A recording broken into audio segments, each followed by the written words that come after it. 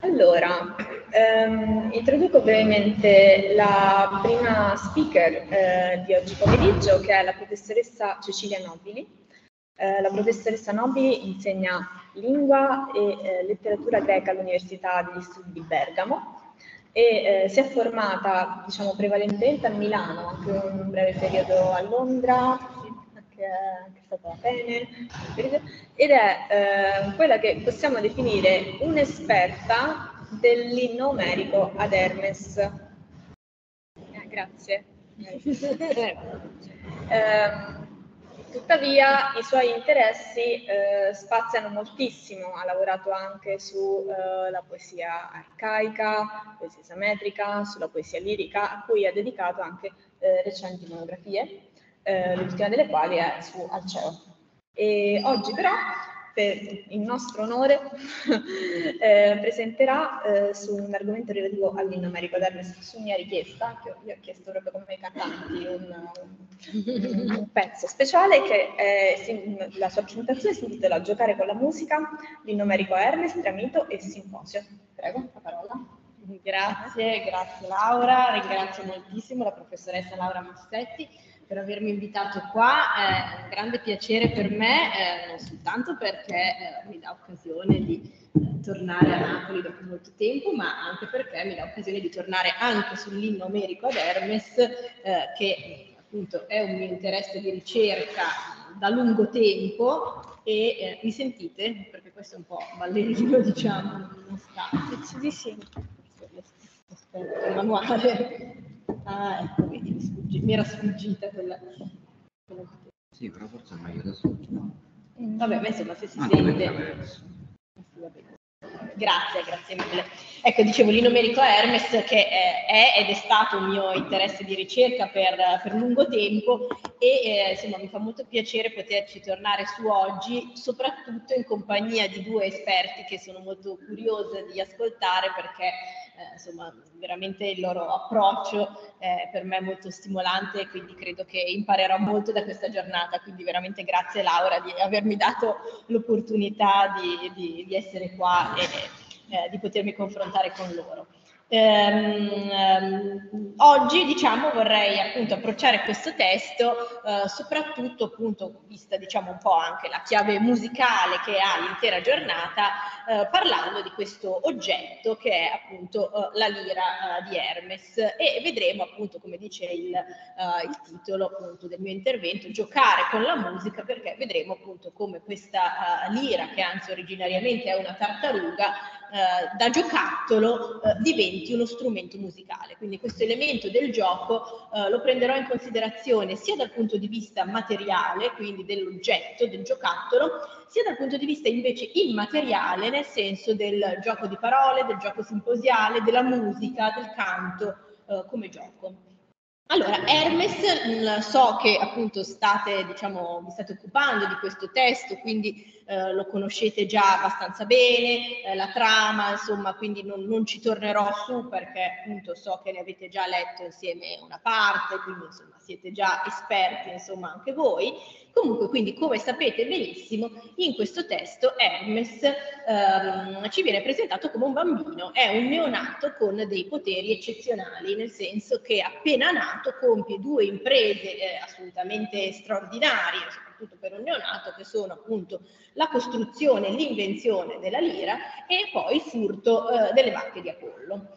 Uh, Hermes è un neonato, ha un giorno di vita, uh, compie queste imprese eccezionali, ma uh, nel corso del componimento si insiste periodicamente sul fatto che lui effettivamente sia un bambino. Um, questo diciamo è una sorta anche di paravento, nel senso che Hermes compie delle azioni in realtà da adulto, ma um, uh, quando gli fa comodo uh, si ripara dietro questo paravento, diciamo, della suo essere un, un neonato.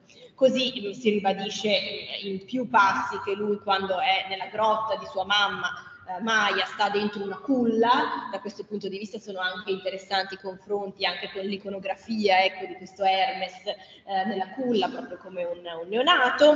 Eh, si dice, lo vedete, qua siamo ai versi 150-152, eh, qua siamo quando ritorna eh, nella, nella, nella grotta ehm, e per far finta di niente, dopo aver rubato le vacche, per far finta di niente si mette nella culla come un neonato innocente, vedete Technion, Technon Nepion, che gioca con la copertina su questo verbo assuro eh, utilizzato qui, poi ritorneremo, eh, e insieme a sé dentro la culla tiene la tartaruga, ossia la cetra, come il giocattolo proprio che il bambino tiene nella culla per fargli compagnia. Uh, più, più, tardi si dice anche che um, appunto gli interessano quelle cose tipiche del neonato, il bagnetto, il, il sonno, il latte della mamma, eh, appunto vi dicevo si ripara dietro questo paravento quando eh, Apollo va a, da lui, diciamo accusandolo di aver compiuto questo furto e dice ma figuriamoci, ho forse l'aspetto di un robusto ladro di buoi, io non mi occupo di queste, parole, di queste cose, sono un neonato e non faccio altro che dormire, suggere il latte di mia mamma, avere le spalle coperte e l'acqua calda del bagno. Ecco, quindi insomma è appunto, vi dicevo, appunto si ripara dietro questa scusa. Ecco, queste allusioni, diciamo, all'infanzia eh, di Hermes sono presenti soprattutto nella prima parte del componimento per scomparire poi in seguito invece al suo confronto eh, con Apollo. Quindi dopo che si chiarisce con il fratello, quindi come impone Zeus, i due, diciamo, tra virgolette, fanno pace, ehm, come sapete appunto si scambiano, Hermes dona ad Apollo la, la cetra e, e, e questo sancisce in qualche modo finalmente l'ingresso di Hermes nella comunità degli adulti. Apollo stabilisce quali saranno le sue prerogative, le sue timai, quindi di questo dio eh, appunto così politropos, eh, questo dio versatile a cui Apollo concede anche quest'arte di divinazione minore. Um, e qui finalmente Hermes è pronto per entrare nella comunità degli dei, quindi una sorta di passaggio all'età adulto che viene, diciamo, incoraggiata e protetta da Apollo, che è il dio puro Trofos, uh, quindi il dio che educa i fanciulli per, uh, per eccellenza. Ecco, quindi questa però dimensione infantile che caratterizza invece tutta la prima metà del componimento è associata anche a una dimensione ludica. Quindi Hermes, come tutti i bambini, gioca e eh, il suo giocattolo è appunto questa tartaruga che lui eh, appena nato incontra nel momento in cui esce eh, fuori di casa, casa che poi è una grotta come sapete sul Monte Cillene. Uh, quindi esce e vede uh, questa, questa questo animale che pascola placidamente l'erba e lui già intuisce con questa capacità che è la capacità proprio del Dio di capire, di vedere già in quello che è un animale, già proietta quello che eh, nella sua mente potrà diventare, ossia uno strumento musicale, la cetra, quindi, e si rivolge a questo animale. Quindi lo leggiamo, sono i versi, perfetto, grazie, mi hai anticipato, dal 25 al 40 in cui si dice che Hermes fu il primo a produrre una tartaruga canora, eh, Aoidon, Chelun, Aoidon. Ecco, quindi fin da subito questi due elementi, la tartaruga e eh, l'elemento musicale, sono fin da subito accostati, perché già Hermes ha chiaro che cosa quell'animale diventerà. Quella gli capitò davanti, presso l'imboccatura dell'antro, mentre brucava l'erba rigogliosa di fronte alla casa, muovendosi lentamente. Il figlio di Zeus, vedendola, rise e subito parlò così. Ecco un simbolo favorevole per me da non disprezzare, simbolo, symbolon, perché è una tartaruga, ma rimanda già a qualcos'altro, questo è il significato del simbolo, un segno che eh, rimanda appunto a un'altra entità. Quindi è già un simbolo della cetra, appunto, che diventerà. Salve graziosa danzatrice, compagna del banchetto, sono contento di vederti. Ma perché bel giocattolo calon affirma? Quindi giocattolo, lo vediamo, questo termine ricorre qui per la prima volta. Indossi questo guscio screziato, tu che vivi sui monti. Ora ti prendo e ti porto in casa, non ti lascio andare, mi servi, sarai la mia prima vittoria. Meglio tornare dentro, ci sono pericoli fuori. Da viva saresti una protezione contro i sortilegi funesti. Da morta intonerai un canto stupendo. Così dicendo, la prese con entrambe le mani ed entrò in casa portando il grazioso giocattolo di nuovo a firma. Ecco, quindi questo, uh, questo animale, perché per ora è ancora un animale vivo, viene denominato con due volte come afirma giocattolo. Ora, la parola afirma uh, in, in greco, così come il suo corrispondente verbo asuro, vogliono dire due cose, vogliono dire sia giocattolo o giocare, ma anche, eh, e adesso vediamo un po' l'evoluzione di questo termine nella storia, ma anche suonare, danzare, quindi con un significato canoro, musicale. Uh, questa diciamo sfumatura semantica tra l'ambito del giocare e l'ambito del suonare riguarda ad esempio anche un altro verbo che è il verbo paizo, quindi che ugualmente vuol dire sia giocare sia danzare ed è comune poi anche a molte lingue moderne, pensiamo all'inglese play, pensiamo al francese jouer, ecco, quindi questa, ci sono tantissimi studi insomma su, su questa diciamo trasposizione semantica tra questi due ambiti, quello del gioco e quello del, uh, del, della musica, del canto, anche della danza, ecco. E, mh, nel greco, diciamo, afirma mh, non è forse una parola così usata, eh, ne troviamo diciamo, alcune occorrenze già nell'epica, ad esempio la più antica è quella nell'Iliade, nel quindicesimo canto, quando si parla di come Apollo eh, con, così facilmente, con rapidità, distrugga il grande muro che i greci hanno costruito a protezione delle navi, che lui spazza via, così come le onde del mare, si dice, spazzano via i castelli di sabbia che i bambini costruiscono sulla riva del mare quando giocano e c'è per la prima volta l'impiego del verbo asuro che vuol dire proprio puramente giocare.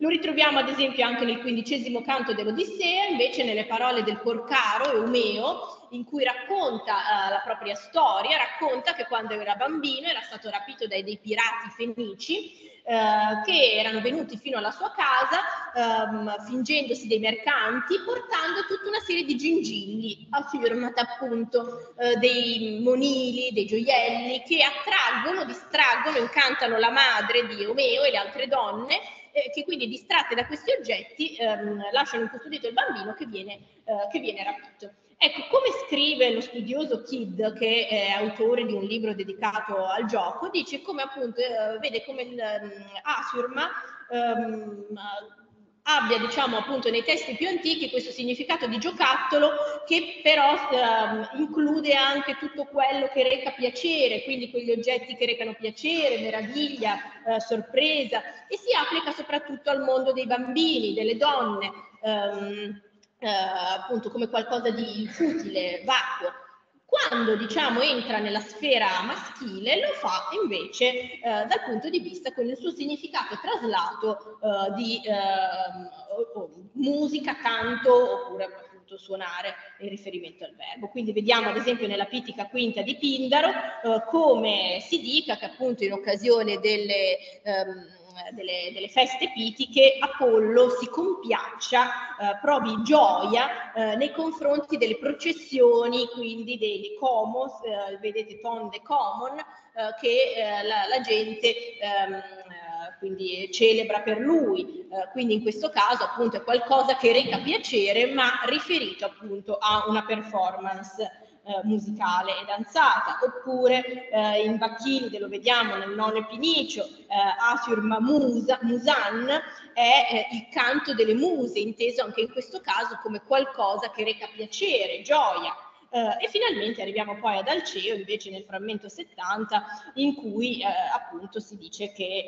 um, um, è riferito diciamo, al suono della lira nel simposio che appunto appunto suona eh, per quanti partecipano al, al, simposio. Quindi il significato musicale poi è quello che troviamo comunemente nel V secolo, ad esempio nel passo delle leggi di Platone, in cui invece si, eh, si parla appunto di Atena che si compiace eh, delle danze eh, che le vengono eh, fatte in suo onore, quindi anche la danza armata, e qua c'è appunto il verbo asiurein che vuol dire propriamente danzare. Ecco, quindi vediamo questa evoluzione semantica del termine, dalla sfera del giocare a quella diciamo dell'oggetto piacevole che reca gioia, fino ad arrivare appunto alla cosa che per l'attività che per eccellenza reca gioia, che è appunto la musica e il canto.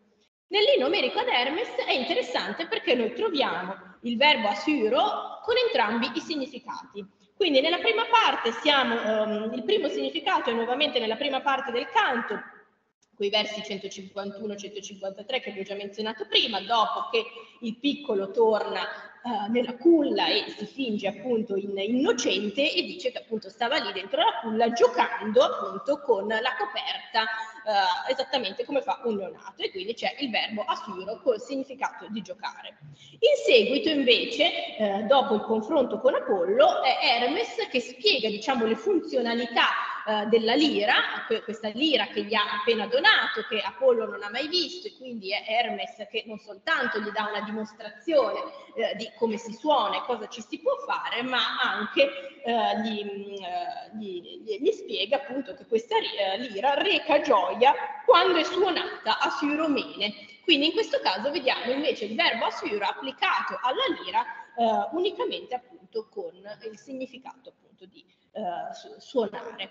Ecco, e eh, questa evoluzione, diciamo, nel significato eh, del, mm, del, eh, del, di questo termine, ecco, è interessante che nell'inno d'Hermes ci sia, diciamo, in entrambe le occorrenze ed è, eh, diciamo, abbastanza indicativo, adesso io non entrerò qui nel merito della datazione dell'inno, che eh, ovviamente è un tema diciamo complesso, eh, però insomma diciamo che eh, denuncia una sorta di una certa stratificazione, ecco. Uh, io personalmente diciamo, credo che l'inno sia un componimento forse di matrice ateniese, comunque uh, diciamo di epoca classica, del dell'inizio del V secolo, diciamo tra il VI e il V secolo, e che riflette diciamo, anche un tipo di sensibilità eh, soprattutto ad esempio anche nei confronti delle attività artigianali, delle tecnai tipiche dell'Atene di quell'epoca. Eh, non mi soffermo appunto sull'episodio della costruzione della lira perché eh, lo faranno poi altri eh, dopo di me, però appunto l'episodio è descritto, la costruzione come vedremo è proprio descritta con un linguaggio tipico delle attività artigianali che appunto è in linea eh, insomma, a mio parere, appunto, con una sensibilità eh, che prende piede soprattutto eh, nella, nell'Atene del sesto, della fine del VI inizio del V secolo eh, avanti Cristo. Quindi, eh, da un lato, appunto, vediamo l'elemento eh, materiale di questa lira che è un giocattolo ed è contemporaneamente però anche uno strumento musicale, quindi è afirma per eccellenza, quindi con entrambi eh, i eh, significati. E però vediamo, vi dicevo, la componente ludica anche nella sua dimensione immateriale, perché vediamo appunto il canto eh, del Dio, Dio che si cimenta anzi con due canti per dimostrare, diciamo, eh, come si usa questo strumento. Il primo, subito dopo aver costruito eh, la, la, lira, eh, la prova e eh, infatti dice quando ebbe terminato il grazioso giocattolo, quindi di nuovo Asirma, in questo caso riferito non più alla tartaruga, ma ormai tartaruga che è diventata ormai una lira, lo impugnò e col, e col plettro saggiò, um, saggiò le corde a ritmo. Un suono inaudito risuonò, il termine qua è smerdaleo, vuol dire terribile, perché nessuno mai l'ha sentito fino a questo momento, quindi è un suono in qualche modo anche spaventoso. Il dio intonò un canto soave, tentando di improvvisare come fanno i ragazzi nelle feste quando si scambiano scherzi pungenti. Cantava di Zeus Cronide e di Maia dei bei calzari, di come un tempo si univano nella stretta d'amore Celebrava così la sua stirpe gloriosa ed esaltava le ancelle e lo splendido palazzo della ninfa, i tripodi di casa e i numerosi leviti.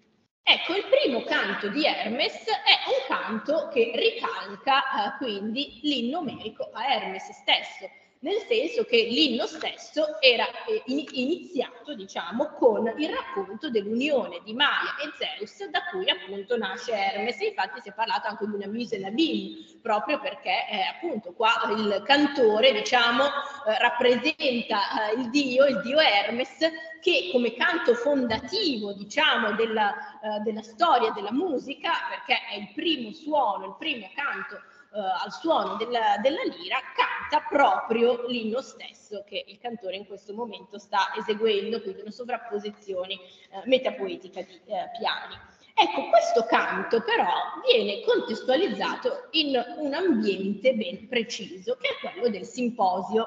E infatti si dice, um, intanto uh, il fatto che um, Hermes uh, esegue questo canto improvvisando, ex autoschedies. Ecco, l'improvvisazione è un elemento tipico della performance simposiale in cui ciascun convitato prende la cetra e improvvisa un canto per intrattenere i, compagni, quindi non si tratta di poeti professionisti che si sono diciamo preparati o, o che sono stati istruiti eh, in quel senso, ma ciascuno improvvisa. Quindi intanto questo elemento dell'improvvisazione.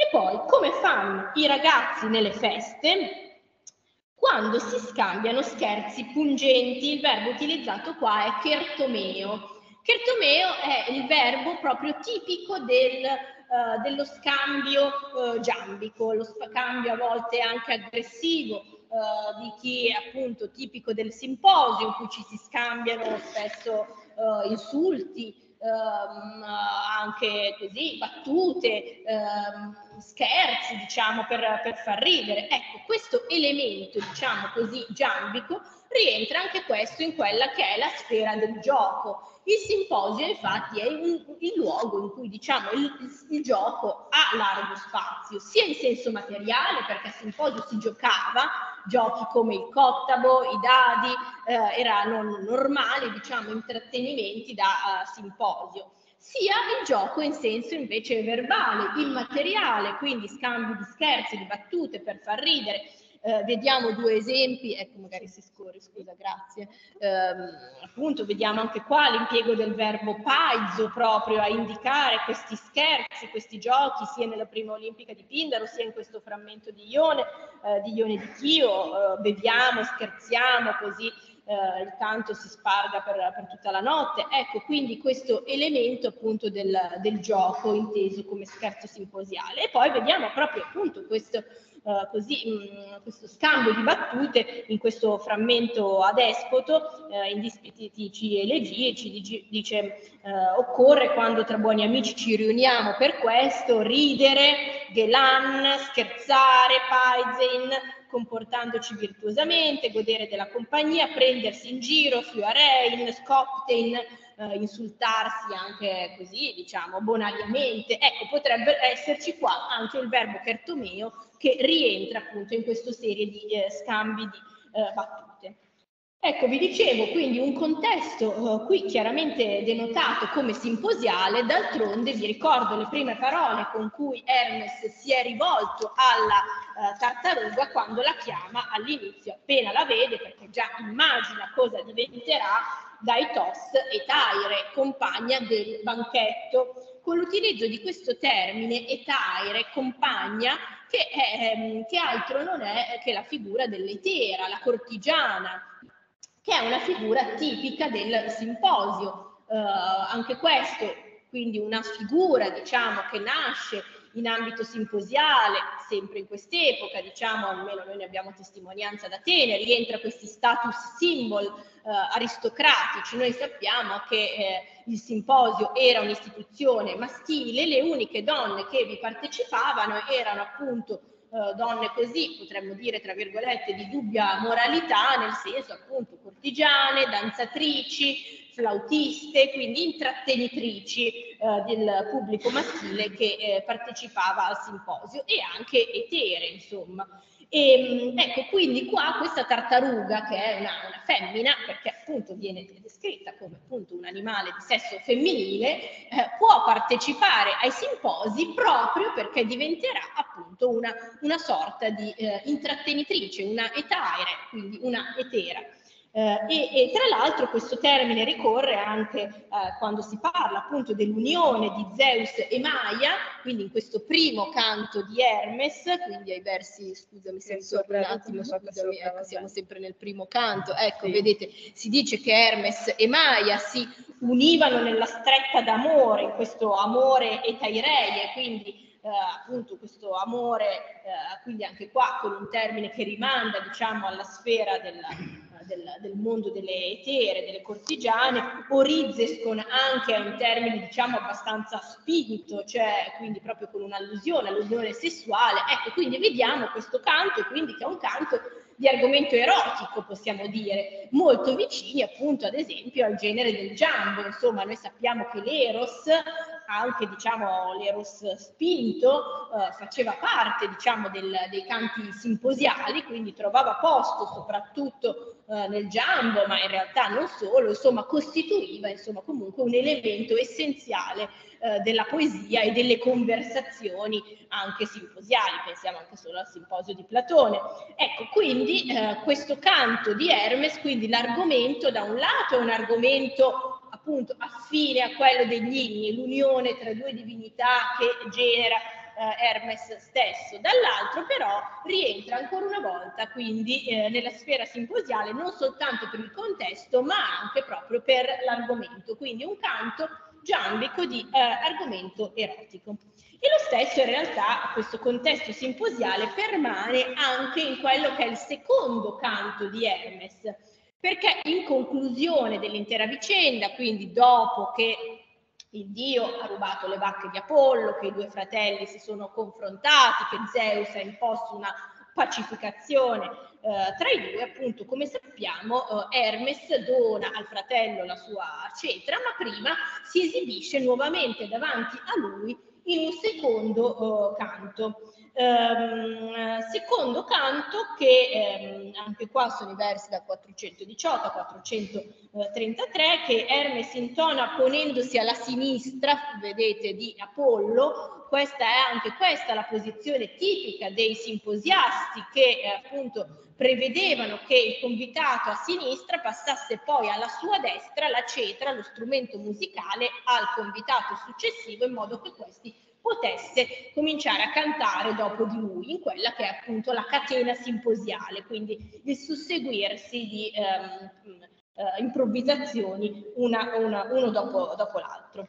E ehm, tra l'altro appunto questo, questo, canto appunto si dice eh, che ehm, eh, suscita in Apollo un desiderio dolcissimo e, e, quindi anche questo aspetto quindi del desiderio eh, che rimanda ancora una volta al Glucius Imeros alla sfera erotica eh, tipica anche del, del, banchetto.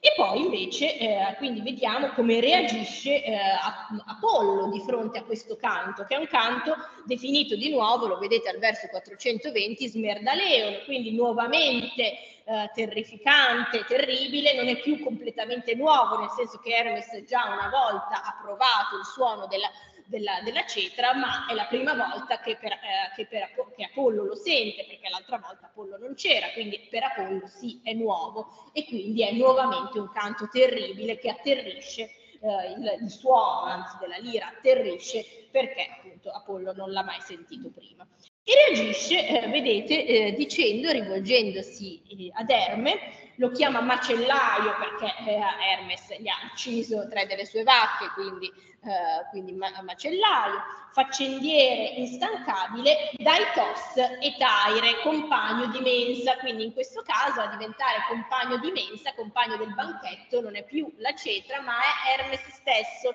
Quindi vediamo la stessa espressione che ricorreva all'inizio del componimento e adesso alla fine e che incornicia, quindi in questa sorta di cornice simposiale, possiamo dire, tutta la vicenda. D'altronde anche l'elemento, il, il, nucleo centrale di tutto l'episodio, che è l'istituzione del sacrificio, adesso io qua non sono entrata nel merito, ma anche lì, insomma, anche quell'episodio è intessuto, diciamo, di elementi che rimandano alla sfera simposiale, del banchetto in generale, questa dice che Hermes eh, celebra appunto eh, in onore dei, dei 12 dei. Ecco, e, mm, e, e, anche qua appunto Apollo ribadisce la novità di questo canto, dice nuova infatti la musica straordinaria, in questo caso Taumasia e Teodo, sono certo che non la conosce nessun uomo né alcuno degli dei eh, che abitano le case dell'Olimpo all'infuori di te, furfante figlio di Zeus e Maia. Che, è, che arte è questa che consola affanni infiniti? Come la si pratica? Vedo bene che conduce a tutti e tre gli obiettivi, la gioia, l'amore e il dolce sonno. Eh, anch'io sull'Olimpo sono compagno delle muse, a cui è cara la danza e il luminoso percorso del canto, la musica fiorente e il suono fascinoso dei flauti, ma finora non ho mai apprezzato niente in pari misura fra i pezzi eseguiti di bravura, fra i pezzi di bravura eseguiti dai giovani nei banchetti. Ecco, ancora una volta Pollo paragona questo canto a, a questo secondo canto ai pezzi eseguiti a simposio. Ora, questo secondo canto, non ho letto il passo, è un canto, diciamo, di argomento teogonico, ancora una volta, così come il primo narrava dell'unione di Zeus e di Maia eh, per far nascere Hermes, qua si parla anche qua come gli dei nacquero, quindi dell'origine degli dei, e la prima divinità ricordata dal canto era Mnemosine, madre delle muse, quindi anche qui un'altra nascita divina, cioè la nascita delle muse da Mnemosine, così come Hermes eh, nasceva da uh, uh, Zeus e Maia. Ecco, anche qua, eh, quindi anche questo secondo canto ha un valore fondativo, quindi si parla della nascita delle idee, della poesia, della musica addirittura, delle muse, e anche questo secondo canto presenta, diciamo, una sorta di eh, meta letterarietà perché è presentato, vedete l'alverbio eh, sopra, amboladen, eh, che ha la stessa, diciamo, um, uh, così, um, radice uh, del termine anabolè, anaballo, che è il proemio, quindi l'inizio, il proemio, così come gli inni erano il proemio stesso. Anche in questo caso, quindi, un canto di argomento, diciamo, teogonico sull'origine degli dei, sulla loro nascita, ma contestualizzato in contesto simposiale, come dice alla fine Apollo. Eh, non ho mai udito un canto del genere fra i pezzi eseguiti dai giovani a simposio. E tra l'altro si dice anche quali sono gli obiettivi a cui questo canto deve eh, tendere, che sono la gioia, l'euflosione. Ecco, l'euflosione è un elemento essenziale nel simposio, lo vediamo anche nella famosa elegia prima di Senofane, in cui appunto si dice quale deve essere l'atmosfera ideale del simposio. Ecco, la gioia è un, la, la, gioia intesa come una gioia appunto che eh, dà pace eh, e eh, rilassatezza, possiamo dire, ecco, un elemento essenziale del simposio, così come l'eros, vedete, eufrosione, erota, quindi la gioia, l'amore e il dolce sonno. Ecco, anche il sonno quindi rientra tra quelle attività poi con cui il simposio in genere si conclude. Pensiamo anche qua, in questo caso, al simposio palatonico. Ecco, quindi ancora una volta, quindi questo canto mira a quegli stessi obiettivi che sono gli obiettivi a cui tende l'atmosfera eh, simposiale. E poi consola da affanni infiniti, anche qua vedete che arte è questa che consola da affanni infiniti, ecco, in genere l'elemento che più di tutti consola dagli affanni eh, che troviamo ricorrentemente nei poeti simposiali è il vino, è il vino che porta all'oblio, è il vino che fa dimenticare i problemi, le pene, i dolori e, eh, e in questo caso invece vediamo che è la musica, quindi eh, lo strumento musicale inventato, eh, inventato da Hermes. Ecco, quindi per concludere, insomma, vediamo come questa dimensione simposiale che in qualche modo uh, circonda e ehm, in qualche modo giustifica entrambi i canti di Hermes, si inserisce più in generale in questa dimensione ludica che l'inno, uh, l'inno uh, ci trasmette, dove il gioco è protagonista, come vi dicevo, sia dal punto di vista materiale come giocattolo, perché appunto la lira è aturma per eccellenza, è sia giocattolo sia strumento musicale, con quella appunto eh, oscillazione semantica che eh, il termine athirma e il verbo atyro recano oh, con sé. E poi vediamo il gioco nella sua dimensione immateriale, il gioco immateriale, il gioco verbale, il gioco del canto, della poesia, soprattutto la poesia giambica, che è un elemento essenziale appunto del eh, simposio e dell'atmosfera appunto di gioia, eh, così di, di, leggerezza, possiamo dire, che il simposio eh, reca con sé. Con questo concludo, non so se ci sono qualche domanda, insomma ben, ben volentieri e lascio la parola appunto adesso alla nostra moderatrice e agli ospiti che ci seguono, quindi grazie. Grazie, grazie a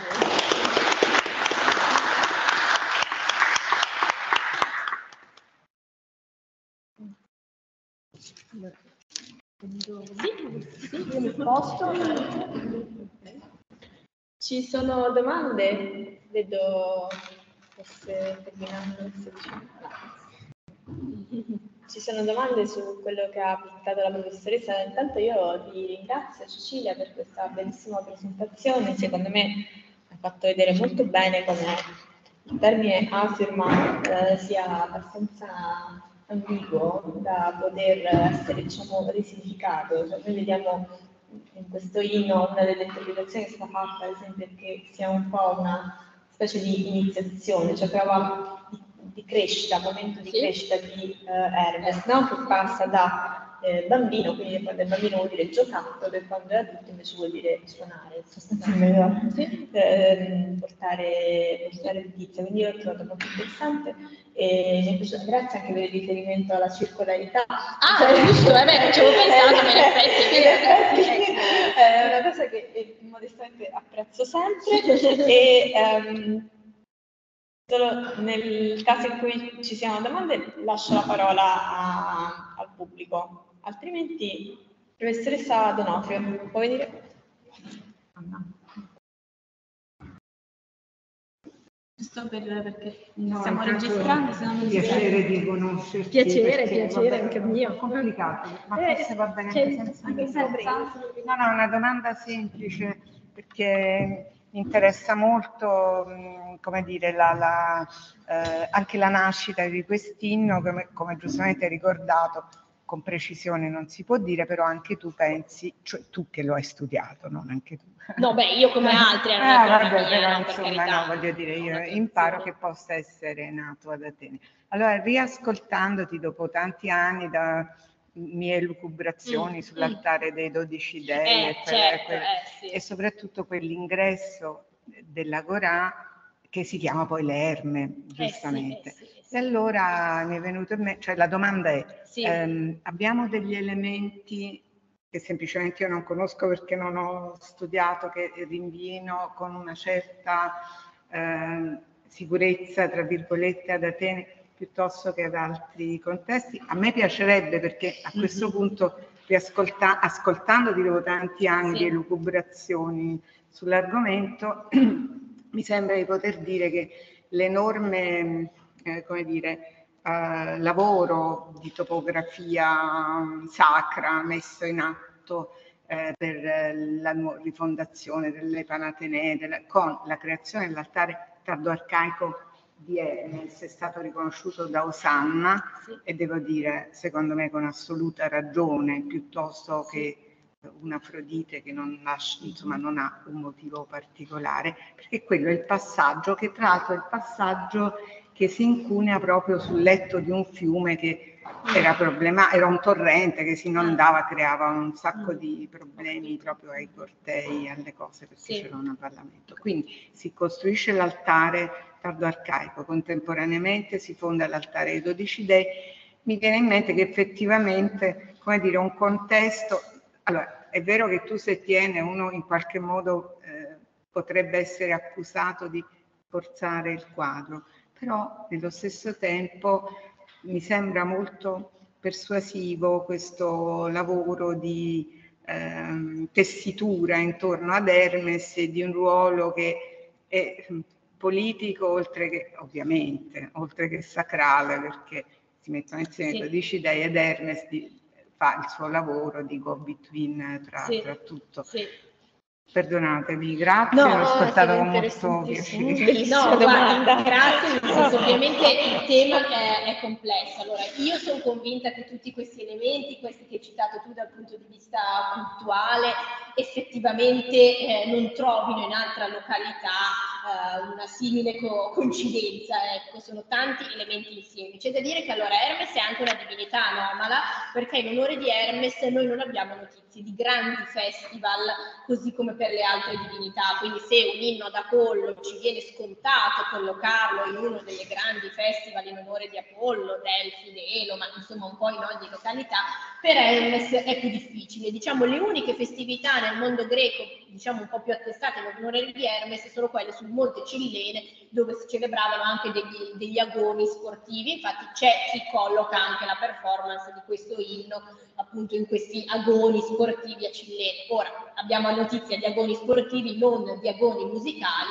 Ecco, il culto di Hermes è un culto, diciamo, più privato, potremmo dire, appunto, tutte queste erme, eh, privato ma anche politico, ecco. Cioè, eh,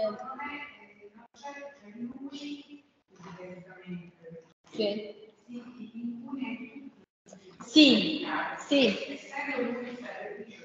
Sì. Mm-hmm.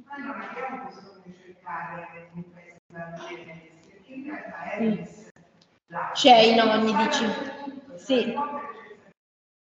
Mm. Sì, sì, no, no, è vero. Eh, sì, sì. No, no, questo è un aspetto che non avevo preso in considerazione. Sì. Mm-hmm. Sinceramente la, la mia idea sarebbe che non bisogna cercare un ruolo ad hoc per questo Dio che Mm-hmm. Eh sì, eh sì, sì, sì, appunto le erme erano a ogni angolo, a ogni crocicco, c'è, c'è, e quindi erano una realtà quotidiana, per noi testimoniata ad Atene, soprattutto il culto di Hermes ad Atene, effettivamente anche questo culto queste erme personali a cui si facevano offerte anche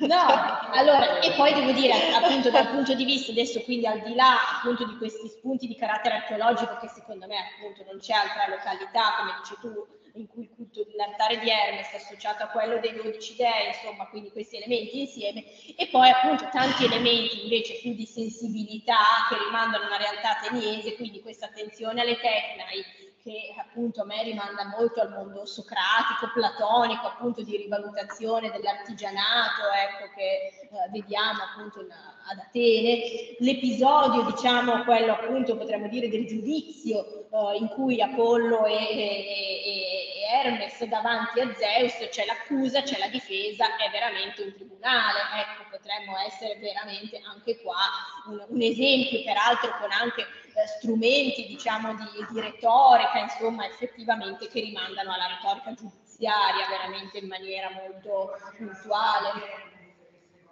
Come scusa? Non... Sì?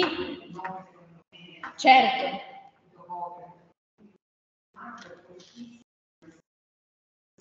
Secondo me sì, ecco, poi anche qui non voglio forzare troppo, però secondo me la, la componente ateniese, sì, solo attraverso questo discorso sulle qualità del Dio, così come vengono eh, descritte, configurate, cioè ci portano poi sì. Sì, sì, sì, secondo me sì, insomma, questo testo. No, ma anch'io ti ringrazio veramente perché, perché effettivamente non c'è un consenso ecco, da parte degli studiosi su questo. Ecco quindi invece mi conforta sapere che anche tu sei della stessa opinione, questo ambiente ateniese, appunto, sì, sì, anche a me persuade molto. Grazie. Grazie. Eh, ci sono altre osservazioni, domande?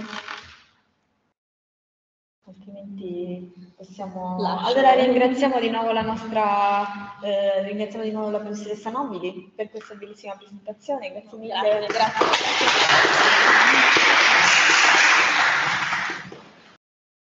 Ok, ed ora passo la parola a, a Marco Sciascia.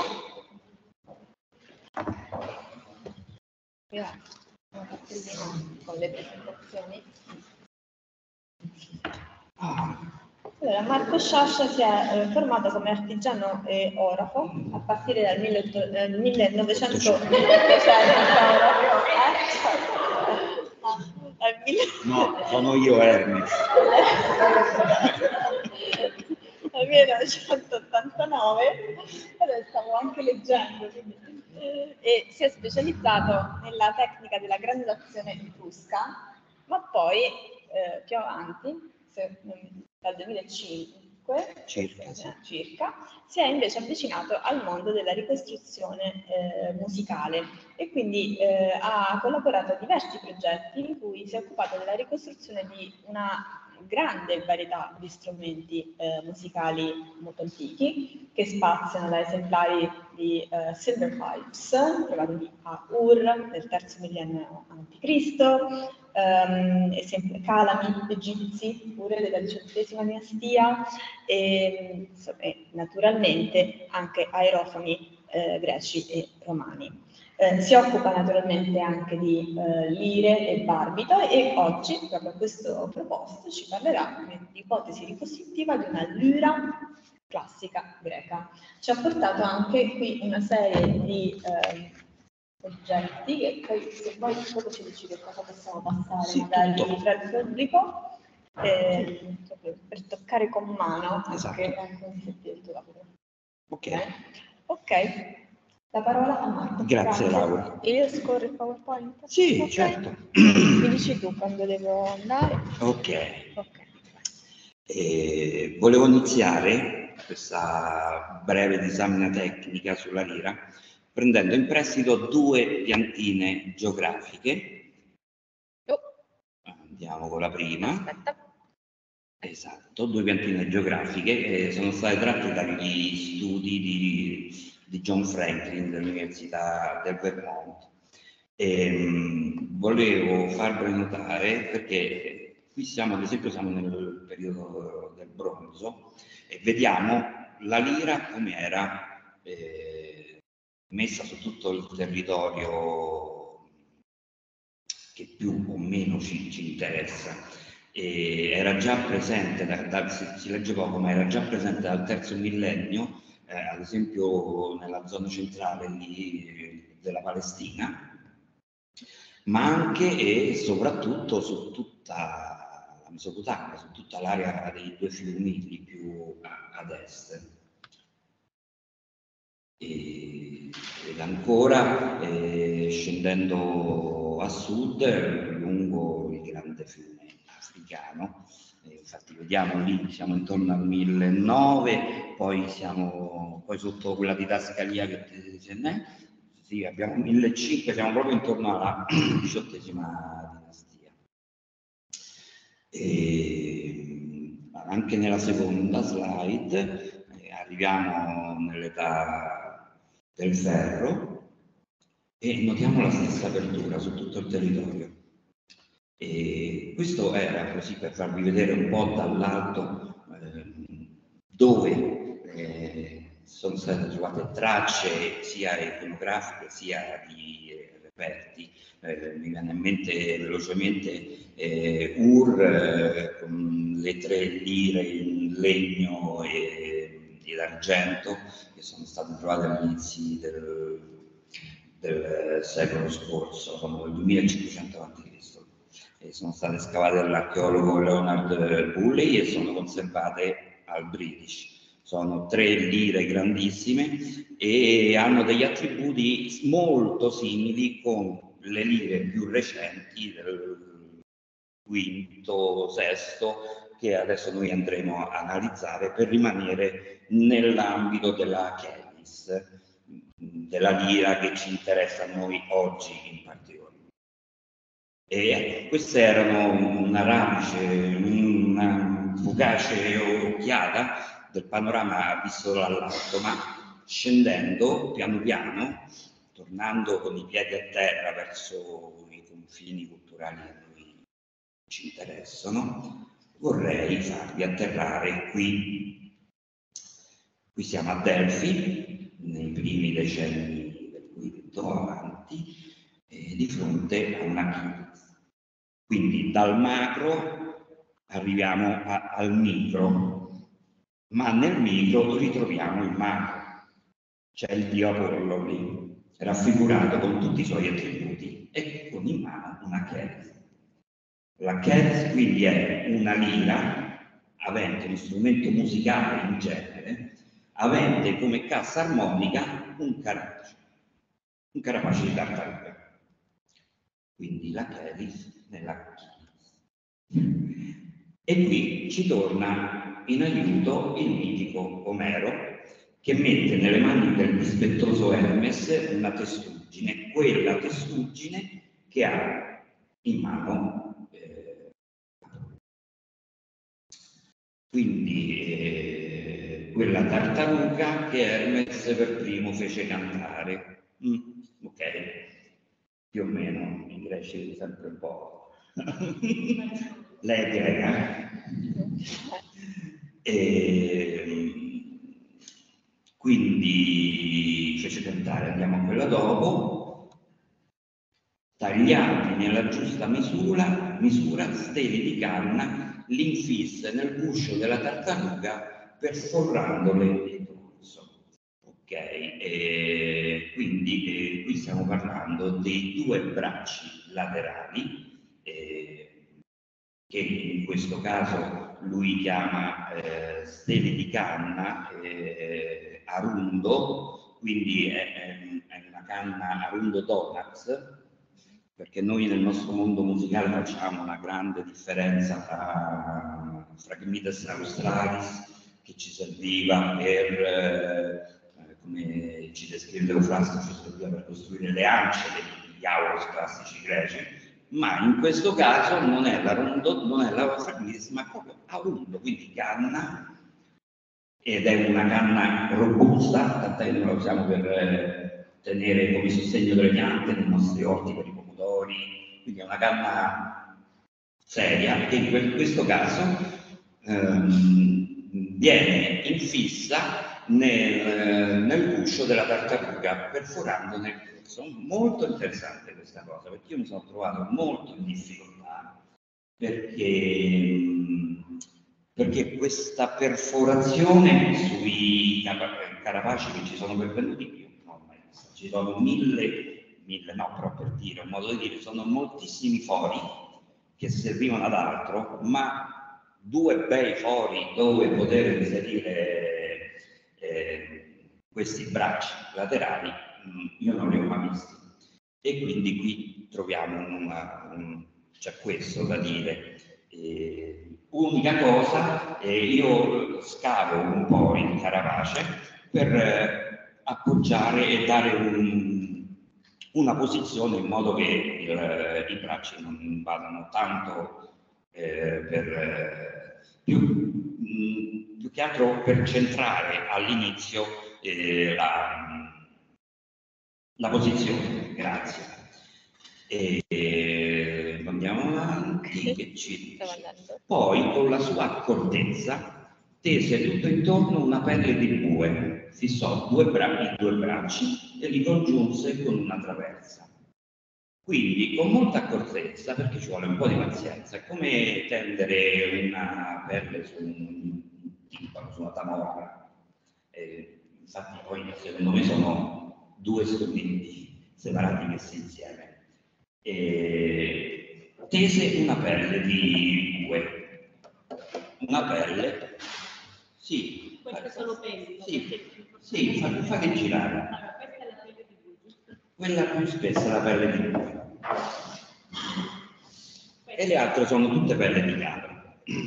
Io, per, secondo me è errata questa cosa, perché la pelle di bue innanzitutto è di uno spessore inimmaginabile. Sicuramente ci si possono fare tante altre cose, ma non metterla sopra non per costruire un piano armonico di, di 20 cm di diametro.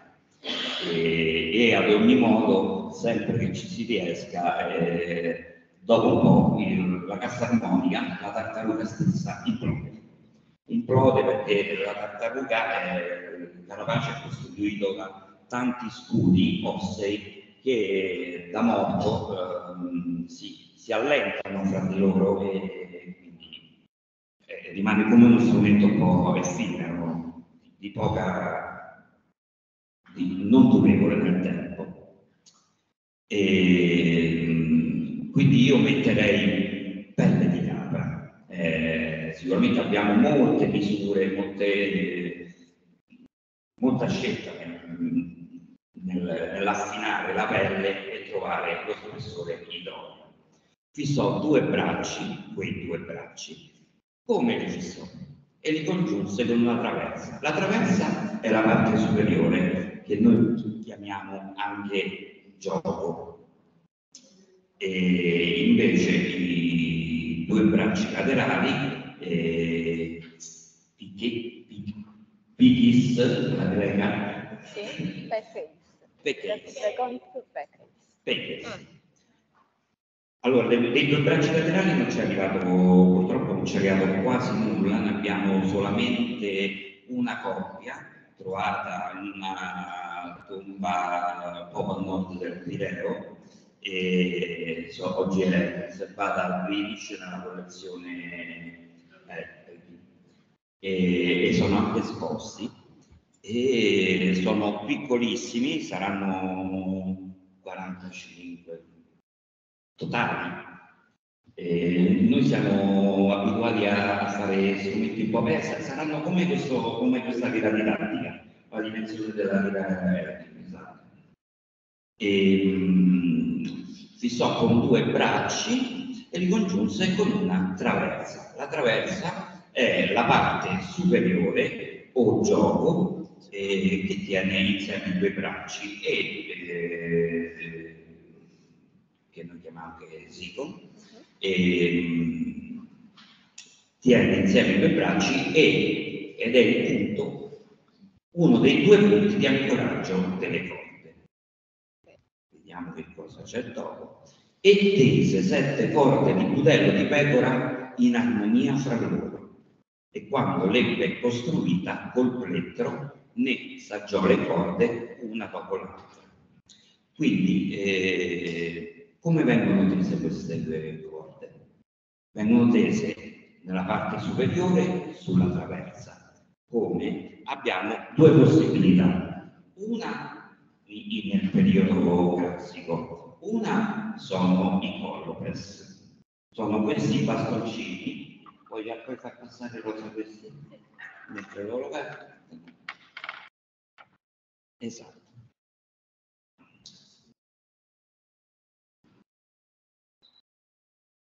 sono questi bastoncini che eh, Collopers significa effettivamente leva, che fanno da leva il, la traversa e il fulcro e quindi fanno da leva sulla traversa e tendono, tirano la porta finché non, si arriva alla nota desiderata. E,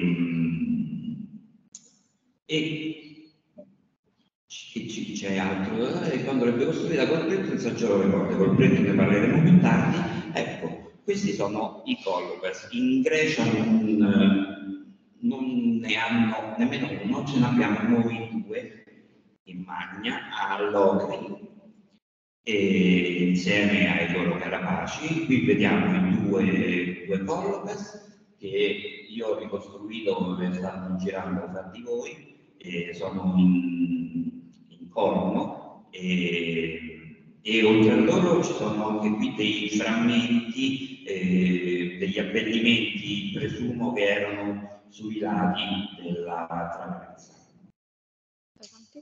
Esatto.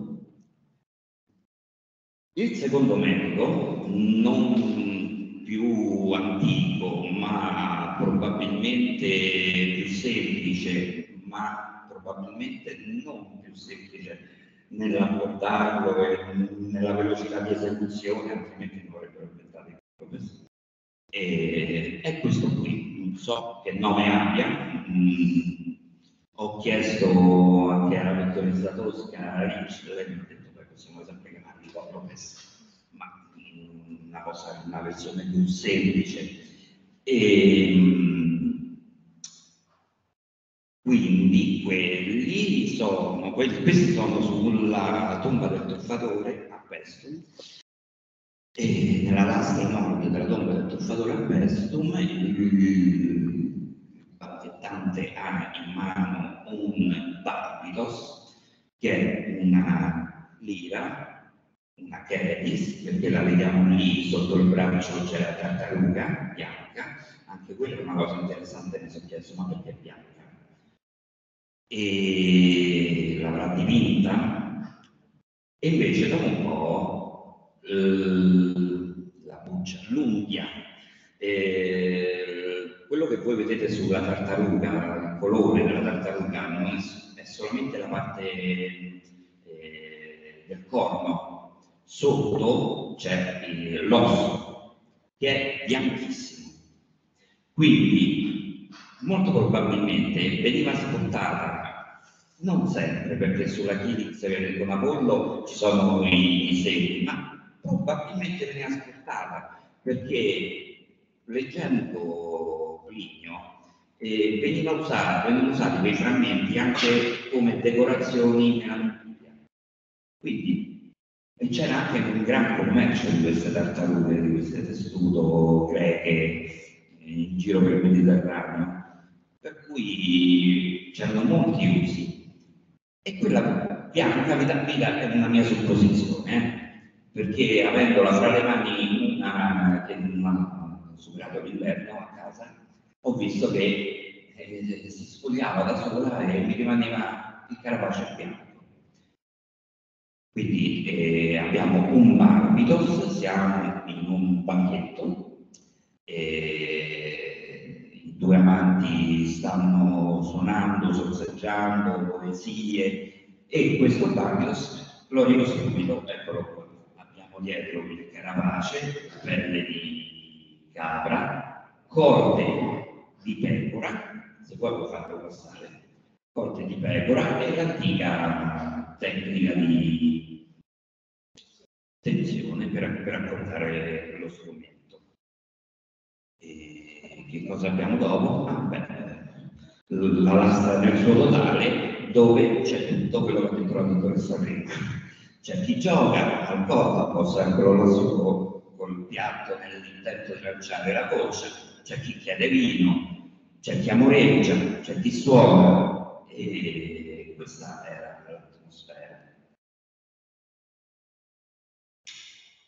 Come veniva serrata la corda di pecora nella parte sotto? Sopra abbiamo visto dove si accordava. Sotto c'era una struttura spesso in, in ferro, ma anche in bronzo. Eh, questi particolari io li ho presi sempre a presto nei magazzini, ora sono state anche esposte queste, questi carapaci, ora no perché mi sembra che il museo ancora sia in fase di, è chiuso in fase di eh, ricostruzione, stanno sistemando tutte le sale. E ad ogni modo questo proviene dalla tomba eh, 341 dove abbiamo il carapace quasi per intero, alcuni chiodi che servivano a tenere all'interno i bracci nel, nella tartaruga e il, la cordiera, che è questa parte di ferro che si inseriva sotto, lo potete vedere sulle lire che stanno girando, potete vedere la parte sotto, eh, sia sulla lira Kit che sul Barbados, eh, c'è questa cordiera dove veniva annotato, dove venivano annotati tutti i, i fili, le porte. E, mh, c'è un altro elemento, eh, puoi andare oltre Laura. Eh, qui ad esempio ho, preso la cordiera e l'ho inserita proprio nei punti dove, dove era all'inizio e quindi penetra perfettamente i due fori e questo è il carapace visto al contrario, quindi immaginatevi il piano armonico sul foglio, sul foglio sotto e la parte della cordiera orizzontale, lì venivano annodate le corde e andavano su verso la traversa per essere accordate. Prossima, ecco qua. Vista da quest'altro lato, a me, io sono un romantico, a me piace pensare che quel grumo sulla cordiera, se analizzato, nasconde oltre a tutti gli ossidi di ferro anche del materiale organico, secondo me. Perché veramente si, si vede che, eh, non lo so, noi diciamo arroncinato, eh, sono i figli che si sono strappati nel tempo e tum, sono ritornati, si sono sono rimasti intorno alla cordiera, al cordotonio. Andiamo, vediamo che cosa c'è E c'è un'altra cosa che non che Omero si è scordato, una, un fattore importante, è il ponte. Il ponte, eh, questa parte qui, io ricostruisco proprio a ponte, ma la ricostruisco in base all'ideologia, non c'è, probabilmente era di legno e non è arrivata a noi.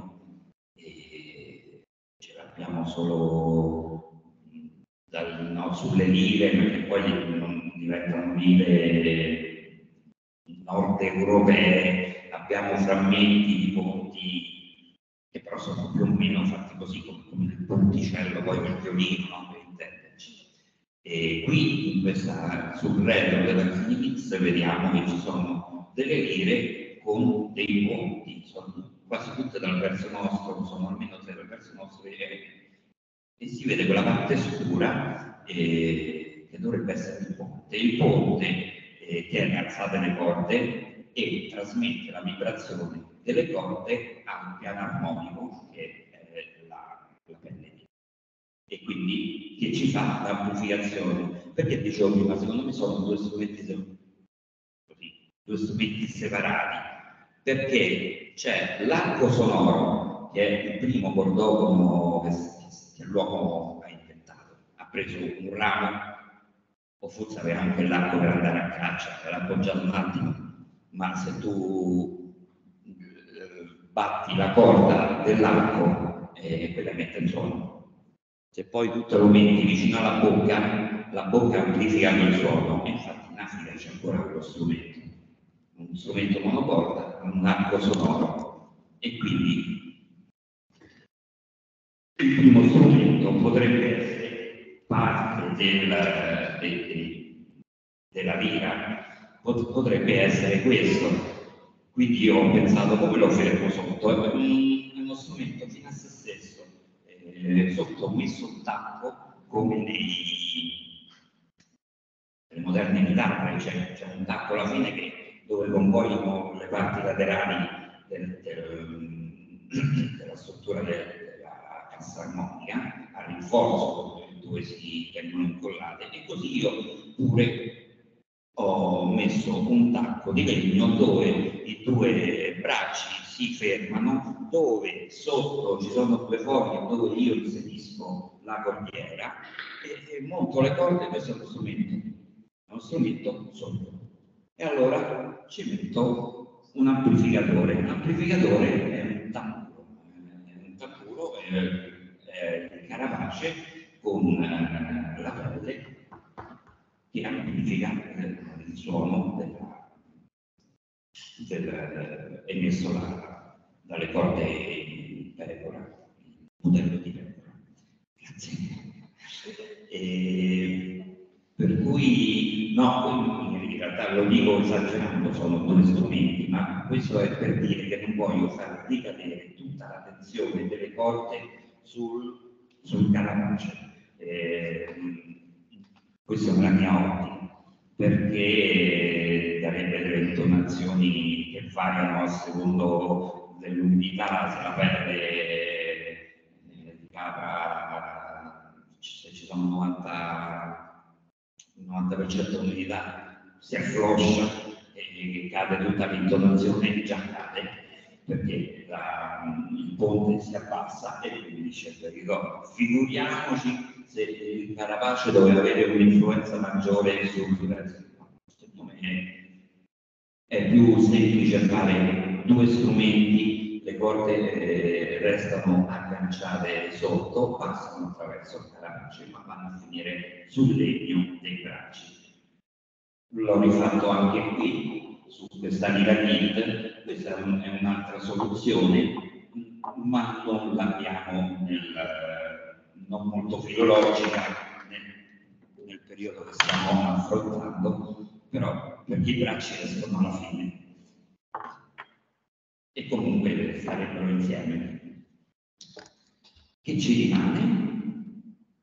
I plettri. I plettri, per i plettri non abbiamo grandissime evidenze, e, ehm, diciamo che al momento eh, abbiamo dei pezzi un po' antecedenti, VII, VIII secolo e quelli che io ho studiato sono tutti di area centro, di area romana, diciamo, più che altro, quindi eh, siamo un territorio etrusco, ce ne sono almeno tre a Villa Giulia, ah no, scusatemi, al Museo Nazionale di Strumenti Musicali, ex collezione eh, Gorga, eh, di cui io ho fatto una ricostruzione che sta girando, e quindi immaginate questo plettro gigantesco con, con, il quale si suonava la lira e ve lo farà vedere poi Rosa il metodo e poi ne abbiamo altri, si può girare, ehm, ecco, eh, questi sempre da, da Villa Giulia, questi sono frammenti e manca la parte dove che veniva usata proprio per sprecare le corde, in questo caso. Andiamo avanti. Ce ne sono altri, molto interessanti, questo è con delle foglie d'oro ed è molto interessante quello che c'è scritto sotto. È molto divertente leggere i tascagli degli strumenti musicali nei nostri musei. Qui ad esempio c'è scritto cucchiai, cucchiaini o, o plettro e la cosa bella è che ultimamente anche, anche qui a Man eh, stanno scomparendo tanti cucchiai, tanti cucchiaini nostri stanno scomparendo, stanno appanendo diversi plettri. Questo grazie anche alla dottoressa Morisco che si occupa della sezione bronzi e ossi. Eh, su Alman, grazie anche, hanno fatto un pezzo un gemellaggio, un progetto proprio con, con Cremona e con Stefano sua pianta. E quindi ne uscirà qualcosa sicuramente di interessante. Ci saranno molti plettri da Pompei e quindi se ci stanno i plettri ci dovrà essere anche qualche altra cosa qualche strumento di strumento. E io concluderei qui. Ehm, ma sì, no, ecco, ma mi lascio con queste due slide.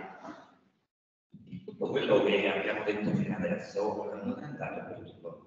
Nel senso come, era, come venivano fatte, ricordate, fermate le corde, e sono ancora, se gira nella tradizione rurale, soprattutto africana, qui vediamo una in Etiopia con un antico sistema, in questo dopo questa in Nubia, eh, chissà, questo è un barbios, se vogliamo, perché è uno strumento gigante, ma anche più di barbios, è un contrabbasso, se vogliamo e, e ha sopra le stanghette in colores e probabilmente quello è un plettro e non so, mi sono scordato di dire prima, nella Iris di Apollo c'era una fascia, ma potrebbe anche essere questo. Eh, sì, quella fascia che tiene il braccio eh, sinistro di Apollo e il braccio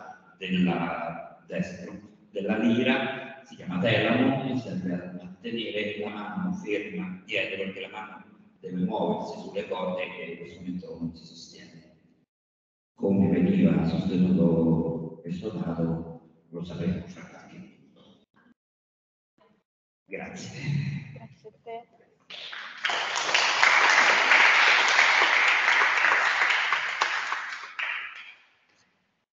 Eh, ci sono domande per uh, Marco Sciascia? Cecilia. Eh, Ti sentiamo. No, guarda, una curiosità tornando all'Inno Dennis, quindi secondo te diciamo la, ricostruzione, la costruzione della lira eh, non è esatta, quindi il cantore non ha evidentemente, cioè soprattutto per quanto riguarda i due fori, mi pare di capire, ecco, quindi... Sì, secondo me ci sono diverse mancanze, c'è qualche imprecisione, è come un poeta che descrive uno strumento sì, sì, che magari ha visto ma che non sa. Esatto, come, come tante se, se, ne vedono anche come il pittore tante volte, sì. si vede che ci sono delle imperfezioni, raramente, ma ci sono delle perfezioni come mettere le corde, tante volte sono degli aiuti, tante volte sono, ma qui perché ha fatto questo? E così può essere anche nella descrizione. Questo è, no, questo è interessante perché appunto il pezzo da un lato presenta un linguaggio molto dettagliato proprio dal punto di vista dell'utilizzo esatto. dei, di termini apparentemente molto tecnici del linguaggio artigianale, scavare, raschiare, anche eh, così dei, una terminologia tratta dal mondo della struttura, che però evidentemente il cantore diciamo non padroneggia completamente, esatto. ecco, utilizza, ma Tecnicamente se non si scava il carapace, cioè se si fanno dei fori come questa qui sarebbe bello, ma io i fori non l'ho visti sui, sui reperti. Quindi va scavato un po' eh, perché bisogna abbassarli i bracci perché sennò viene ta ta Va bene, no, grazie, questo è interessante. Però sa... No, dico perché se fuori è impossibile generare le scavature come se fuori, sarebbe... Le due scavature de, delle, dei piedi. Perché tu per mettere le braccia dentro il Caravaggio comunque hai due scavi, due parti del Caravaggio, quindi potrebbe anche essere Ah, eh, beh, questo me lo dovete dire più voi che analizzate il testo. Io tecnicamente sì, cioè, cioè, avrei, avrei bisogno di affossarmi all'interno del caravaggio.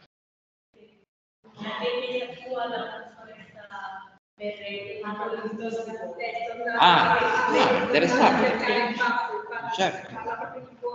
Sì, perché dice di Arino io, Rino io, c'è anche quella variante lì che dice attraversò la, c'è anche una variante che dice la, sta nel passo dell'out. La, la.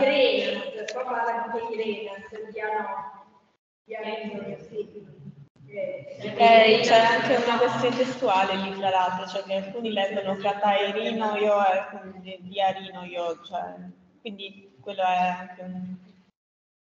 il passo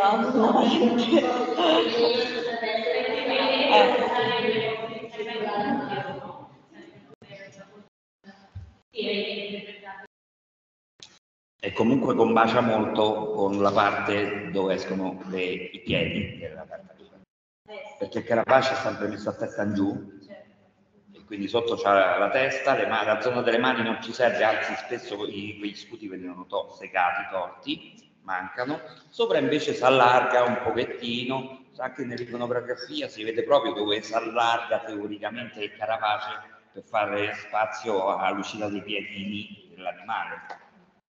Ma non è sempre sufficiente, secondo me va scavato e va abbastanza, però ecco, foro, proprio foro, no. Ah. Nella traduzione, nel testo sarebbe io sono femminista. Femminista, come possiamo raggiungere di solito si presentano come forma, in maniera così però è, è bello, eh, no, è stato molto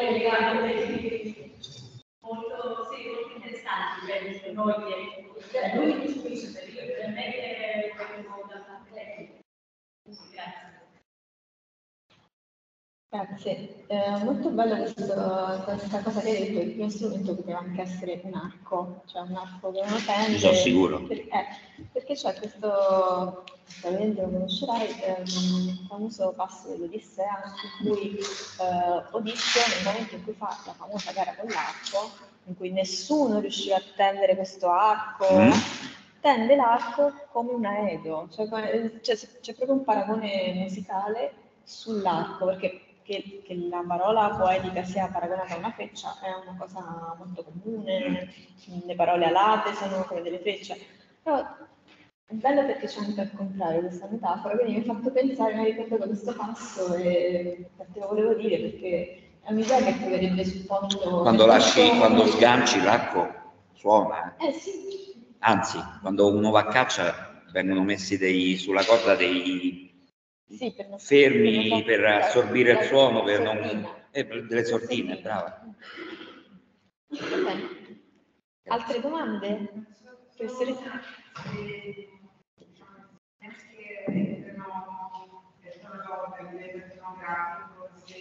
Sono dall'Africa io ho, sono onesto, ho cercato solamente in Africa e mh, non vengono suonati con la tecnica che noi vediamo raffigurata nell'iconografia classica greca, vengono suonati per terra con, con i, tenuto con i piedi, eh, è tutta un'altra tecnica per cui cambia la cultura, cambiano usi, usi e costumi, però lo strumento è uguale. Dall'Africa, non sono andato in giro, no, non mi sono allontanato dall'Africa. È da fare una piccola ricerca. Sì. Si può dire che l'evoluzione della lira della cassa? Certo, certo, perché la lira alla fine è uno strumento poetico, eh, conviviale, ma stiamo parlando, già qui siamo troppi, nel senso che se tutti chiacchierano, eh, si, giù l'ultimo non sente il suono della lira. E allora si è inventato, a parte che il Carapace è stato abbandonato su, quasi subito, io penso che dal terzo secolo nessuno faceva più, usava più il Carapace e si usava il legno dal legno, col legno può fare di tutto e quindi è nata la chitarra. C'è questa chitarra bella larga, eh, che è grande così, grande così e veniva usata la chitarra da concerto, quindi è una lira bella grossa e dava più suono e si sentiva. Cioè cresce la cascata?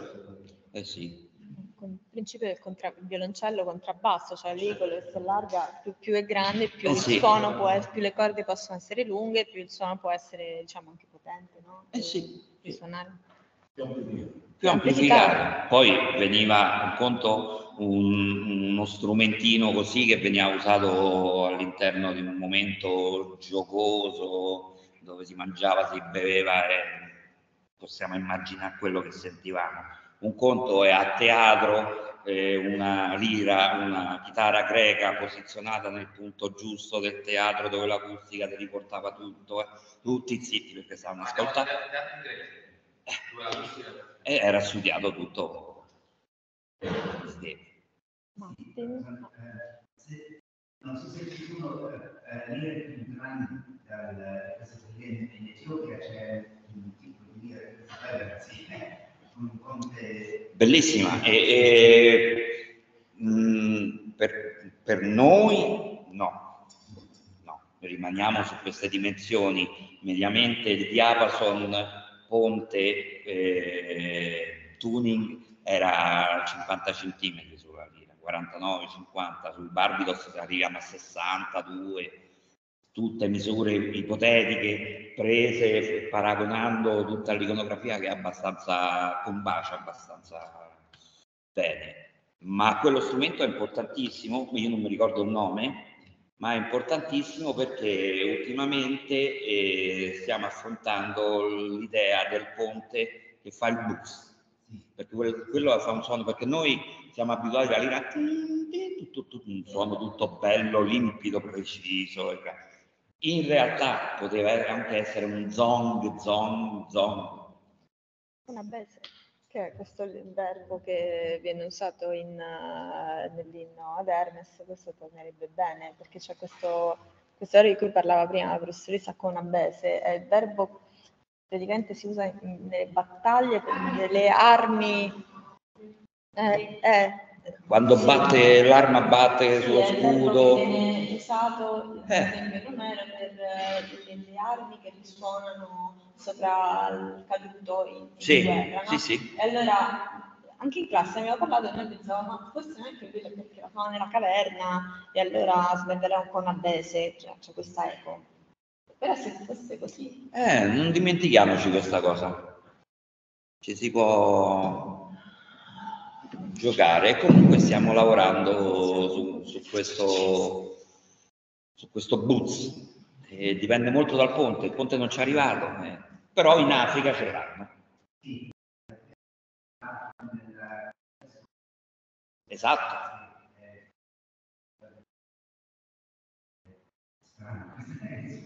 È vero. Sì. Se non ci sono altre osservazioni, eh, ringraziamo di nuovo Marco Sciascia.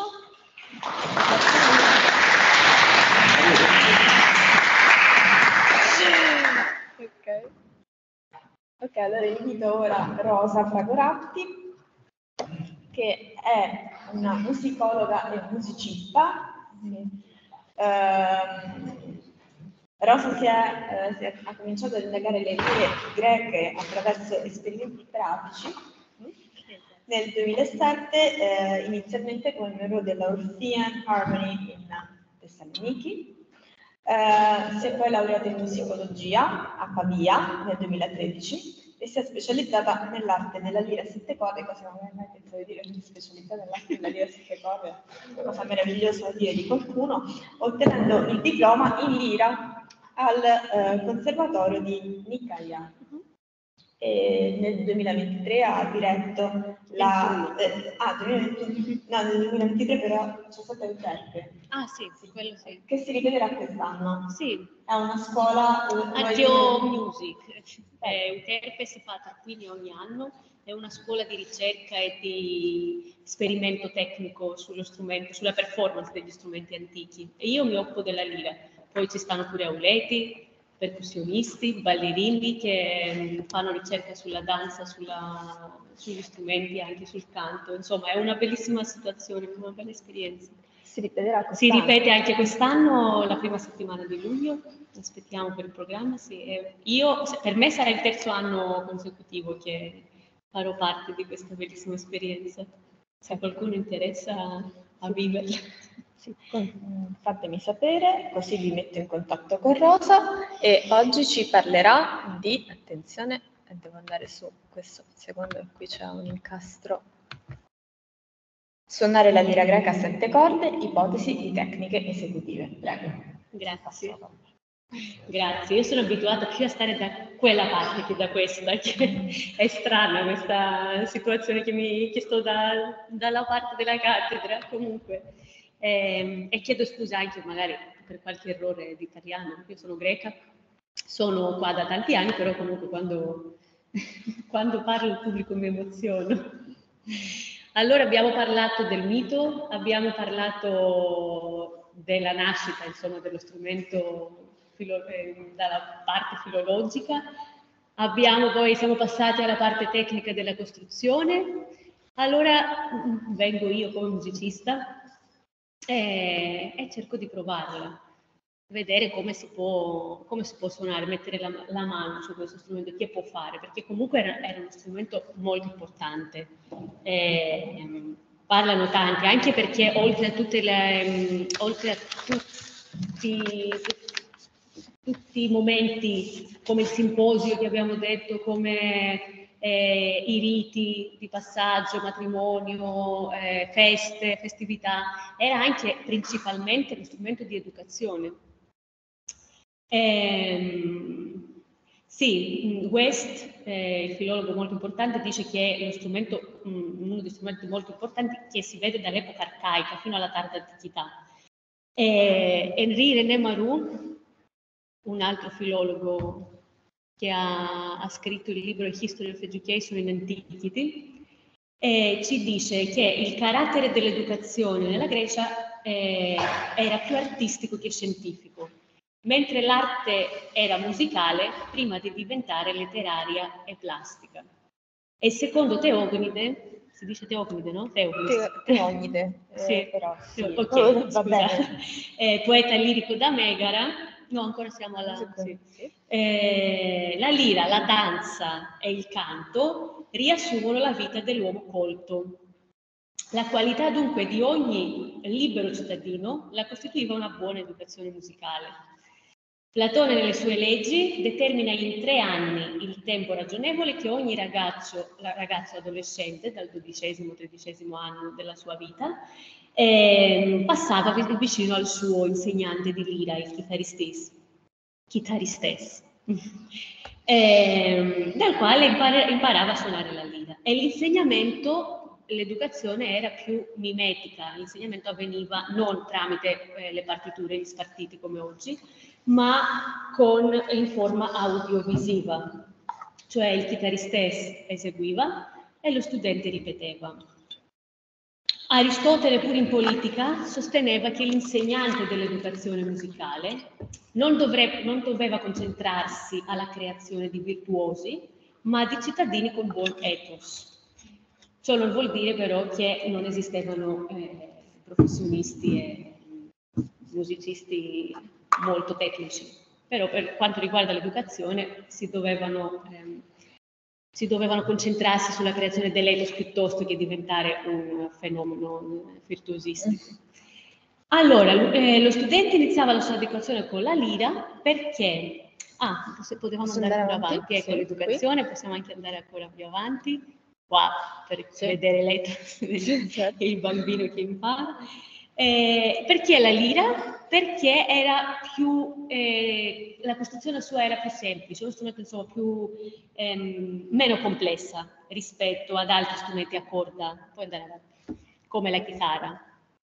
La chitarra che Aristotele la, la chiama technicon organon, cioè uno strumento disegnato, come ha detto, con la cassa armonica di legno più grande, eh, con, eh, più decorata, produceva un suono più forte, quindi eh, era una, un, uno strumento professionale. Professioni, professionale. professionale. professionale. Okay. Allora, però mh, mm, West sempre, eh, dal punto di vista di organologia, organologico, ehm, classifica la famiglia delle lire, cioè l'ira non è solo la chelis, la, la, famiglia delle lire è, è, classificata così. La prima categoria sono le cetre o chitarre, uh-huh dove abbiamo la cetra culla, questa qua, okay. una formings, la, la, chitarra concertistica, la, quella più famosa, poi la cetra di tamiri o di traccia, che è sempre una cassa di legno o a culla, a volte a culla, a volte rettangolare, e le braccia più piuttosto si scrive che sono di corno, poi non lo so se abbiamo ritrovamenti di questa chitarra qua, se sono di corno di animale, comunque nella letteratura c'è scritto che erano di corno.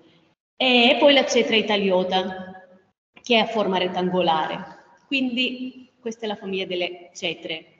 E poi abbiamo la famiglia delle, della Chielis. Ecco, e con la carapace di tartaruga, quella la lira e poi il barbitos con le braccia più, più lunghe, eh, che produce un suono più grave, l'ha detto prima Marco. Allora, queste, so, questa, queste, sono tutte lire, diciamo, fanno parte della famiglia delle lire, anche se la costruzione, la forma è diversa, il modo di suonarlo dall'iconografia eh, sembra lo stesso, perché eh, si parte dalla lira come educazione, poi se uno vuole fare il, il, il suonatore di chitarra o passare al barbitos, comunque i modi sono i, i modi base, base, poi le tecniche più mh, complesse, magari la chitarra hanno sviluppato tecniche molto complesse, visto che facevano le gare musicali ogni quattro anni, eh, quindi dovevano presentare sempre cose più importanti, più... cioè uno doveva superare quello precedente, insomma.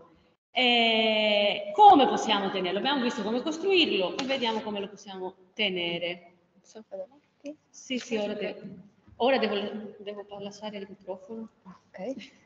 Spero che mi sentite poi. Così.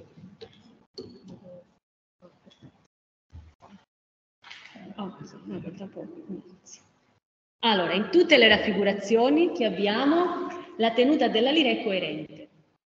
Eh, Filostrato il giovane la descrive molto bene nelle sue icone Dice il suo piede sinistro appoggiato a terra sostiene la lira che poggia sulla sua coscia. Il suo piede destro segna il tempo battendo la terra con il suo sandalo e dalle mani la destra sta fermamente afferrando il plettro, presta attenzione alle note, ha il gomito teso e il polso piegato verso l'interno, mentre la sinistra con le dita dritte percuote le corde. Anche West nel Ancient Greek Music, il suo manuale, è, parla, è precisissimo riguardo la tenuta allo strumento. Possiamo andare avanti. Sì, sto ingrandendo per... Ora non mi fa... Ok. Eh, eh no. Ops. Penso che fosse... Ecco. Eccola qui. Che dice? West dice che le lire possono essere suonan- suonate stando seduti. Puoi andare avanti che si vede la... Sì, sì. Stando seduti, in piedi.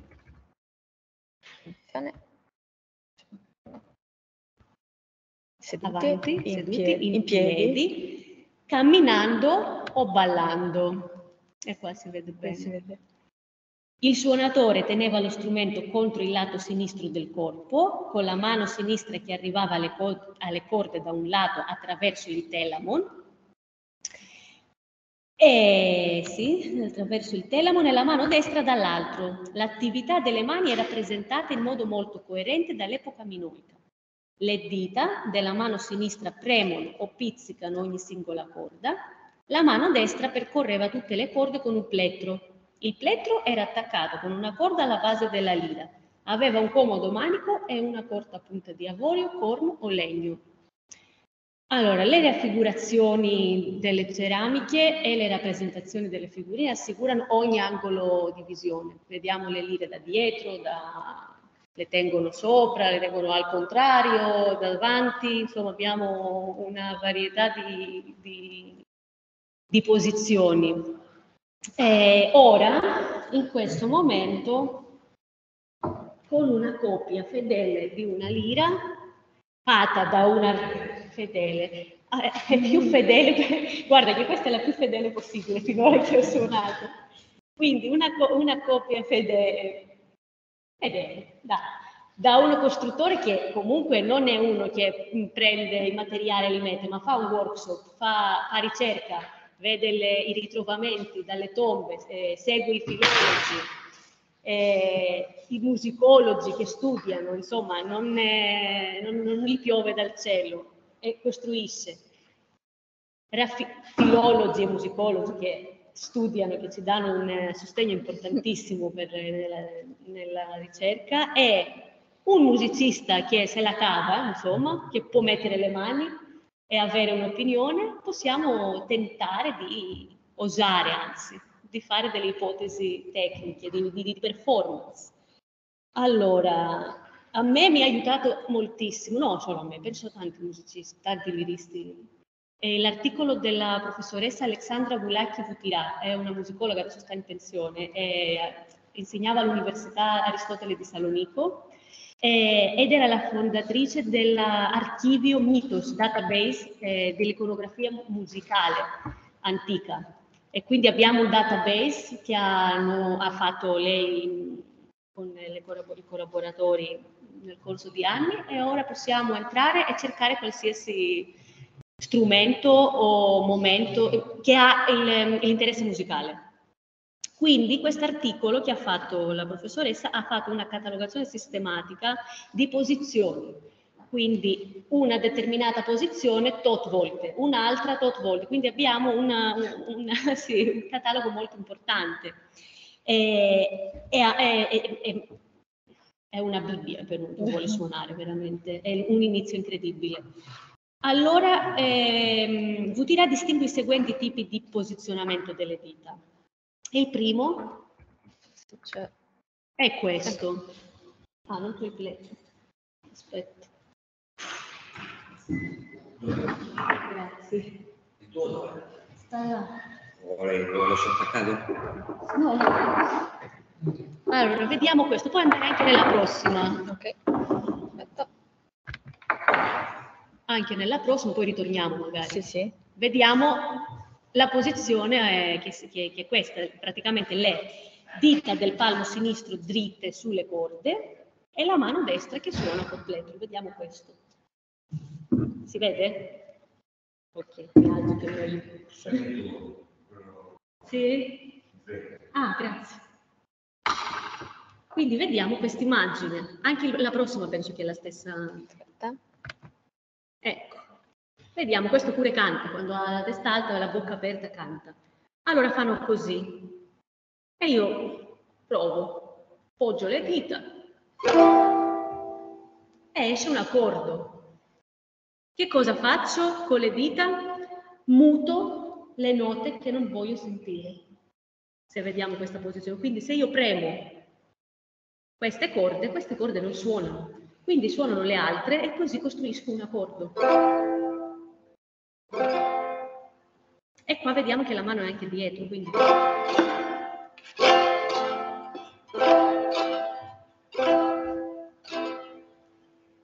E quindi c'è una gamma di accordi da sette corde, posso fare varie combinazioni di chiusura e costruire una, un pezzo intero. Per il chitarrista, non so, ci stanno dei chitarristi, ho capito qua, ecco. E questa è una posizione. Poi un'altra categoria è questa. Vediamo palmo sinistro con il pollice piegato e le, le altre dita dritte sulle corde. Vediamo se abbiamo qualcun'altra. Eh, ecco. ecco, questo pure. Eh, sì, sì, aspetta. Questo ecco, pure. Questo pure. No, questo, questo no. Anticipiamo. Forse questo si vede un po'. Allora, eh, io metto due o tre per non per far vedere troppe cose, però abbiamo una gamma molto, molto grande. E il plettro pure, lo vediamo che sta in movimento, non è che, non è, che è fermo. Vediamo nelle altre ci sta? Aspetta, qui Sì, qua non si vede. tanto e qui era un E qua nemmeno si vede, comunque ci sta il coinvolgimento del plettro. E vediamo anche che il pollice sta mh, nella metà della cordiera nostra. Quindi che può essere? Può essere, dico io, provo.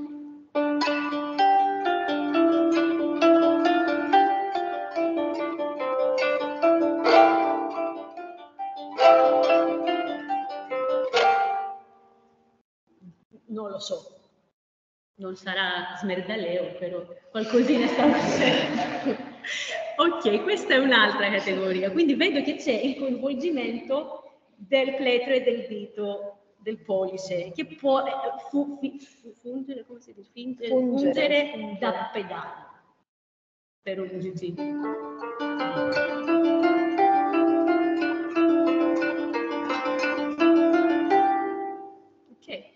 Poi abbiamo un'altra un'altra eh. posizione, Andiamo. ecco, Questa. che è eh, pure questa molto rappresentata, le dita della mano sinistra soppiegate, così. A volte il plettro suona, come qua. Andiamo avanti? Sì. Qua pure suona, qua canta pure.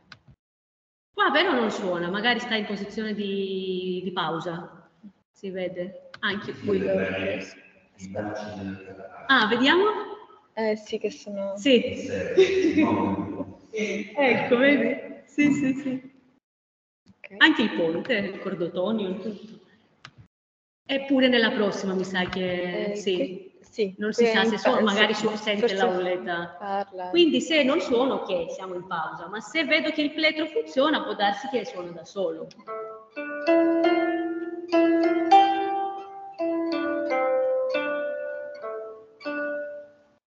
La cosa più facile da fare con un plettro senza la mano sinistra. Poi, che abbiamo? Ok, abbiamo, vediamo questo. La mano sinistra, la- eh, un dito o più, in questo caso un dito, tocca alcune corde. Cioè, proprio evidente.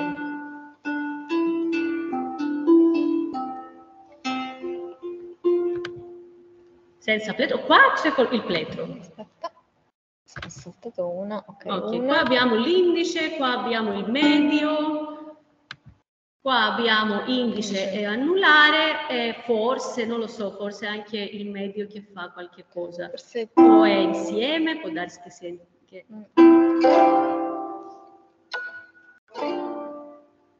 Non si sa. Comunque stanno interagendo le due mani e questo è molto importante. E questo è fondamentale anche l'uso del telefono, perché senza non si può fare niente. Poi, Eh, sì, ecco, sì, sempre, e qua c'è il plettro che sta sopra, quindi non lo so, se metto qua qualcosa.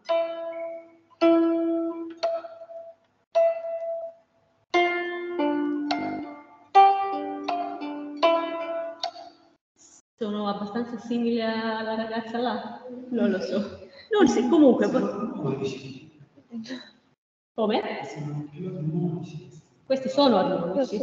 Sì, perché non sta qua, il pletro sta qua, è proprio un dito, un dito sta quasi sulla corda, non lo so se è l'ultima, comunque è un'ipotesi. O possiamo ipotizzare un armonico o, oppure una cosa così. È scordatissima, poi la torniamo, non vi preoccupate. Poi che abbiamo? Ecco, ecco questa è un'altra, sì, sempre un'altra.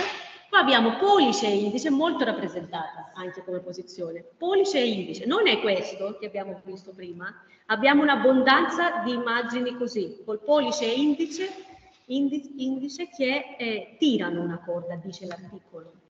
Eccolo. Così, vedete? C'è proprio, si vede questa, questa posizione qua. Avanti.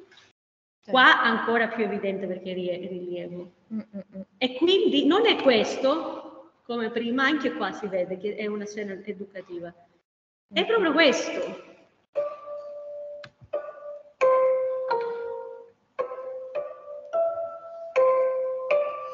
Non è questo, suono la stessa corda, così e così. Sono un'ottava sopra.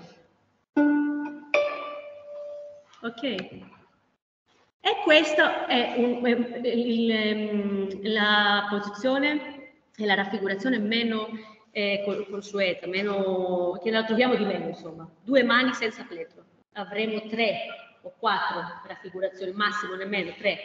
Questa è una, eh, questa è un'altra che secondo me non è nemmeno, ehm, è questo qua, un armonico più alto. Mm. Comunque viene rappresentato ma molto di meno. Chi è senza pletro? Una è pipsallo, cioè eh, suono con le dita solamente. Okay. Sì. E il suono è diverso perché il pletro lo rende molto più, più forte, metallico e potente. Con le dita diventa più musica da camera, intima come situazione. E poi una scena che mi piace molto e l'ho messa perché è ora di accordare. Qua si accorda, si vede proprio avanti. Ecco pure lui. Si scorda, sì, si, si perde la, l'intonazione. Qua secondo me l'aulos dà il tono. Dà il tono sì, perché certo. l'aulos è uno strumento stabile, diciamo, non, non, non ha nemmeno la capacità della lira di andare oltre un certo range di suono. Quindi la lira che si deve adattare all'aulos se devono fare sinaulia. E qua il maestro accorda forse l'allievo, il maestro è quello con la barba. Sì. Il maestro accorda e l'allievo suona, cambiano tono, non lo so, immagino, io faccio... Pure io sono romantica. ok, allora dobbiamo accordare, visto che la pelle con l'umidità soffre. Come si accorda? La cordatura descritta dai musicologi greci del IV secolo è costituita da due tetracordi, perché la lira ha sette corde. Due tetracordi, cioè quattro corde tetracordi. Quello inferiore e quello superiore, con un suono in, eh, come dire, con un suono, con una corda condivisa, si condividono in comune. in comune, con una corda in comune, quindi si chiama synemenon come eptacordo. Allora, questa corda sta in mezzo e quindi come si chiama? Mese. è il nome della corda è mese. Così io, partendo da mesi, perché come musicista moderna e pianista, quindi non ho mai avuto a che fare con eh, corde, violini, chitarre, quindi non ho mai accordato con l'orecchio, mi eh, mh, mm, avevo bisogno proprio di un tuner in tutta la mia vita. Però sicuramente non c'erano tuner, quindi non è che voglio rifarmi antica e fare la parte di quella che fa tutto quello come l'antichità, però vorrei provare come si può accordare, perché è anche un fatto di allenamento questo dell'orecchio. Quindi partendo da intervalli di quarta e quinta, intervalli di quarta e quinta sono quelli più puliti, più, che ti danno una soddisfazione quando li suoni, si accorda tutte queste corde. Prima vi dico i nomi delle corde. Eccole, stanno là. Uh-huh. Ora la Messi, e quella in mezzo è mese. Ok, facile. Poi abbiamo la più lontana da noi, che è la nete, che vuol dire proprio più lontano da noi. E poi l'ipate, che è import importante, quella più vicina alla base, ipate, impate. Ok, la mia pronuncia è più moderna, scusate, però sto facendo, provo, provo. provo, provo. Allora, vicino alla nete e vicino all'upate ci stanno le due paracorde. Quindi parupate e paranete. La terzultima, come si potrebbe chiamare? Terza, quindi trite. E ci rimane la terza corda che di solito si poggia l'indice sopra. E l'indice come si dice? Licanos. E quindi abbiamo le, pure i nomi delle corde. Parto allora da mese, scelgo un uh, modo, in questo momento vorrei scegliere tipo il mixolidio, che è una successione uguale di due tetraccordi, quindi semitono, tono, tono, semitono, tono, tono, quindi abbiamo due tetraccordi accordati più o meno uguali, di distanza diversa, e vedo se il mio orecchio, che non è tanto allenato, riesce a farlo senza chiudere. Allora, per alzare l'intonazione devo alzare il collo, il collo, collo. Per abbassare lo devo abbassare. Quindi la mia mese è questa. Devo scendere una quarta per, per intonare su, in base a questo tono la mia ipate. Mesi, ipate, ipate. È buona come quarta. Poi una quarta sopra per fare la nete.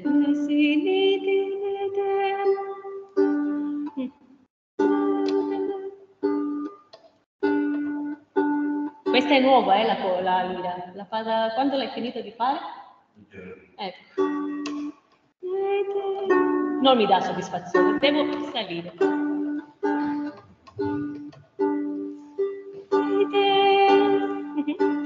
È ben temperato, eh? non aspettate la perfezione.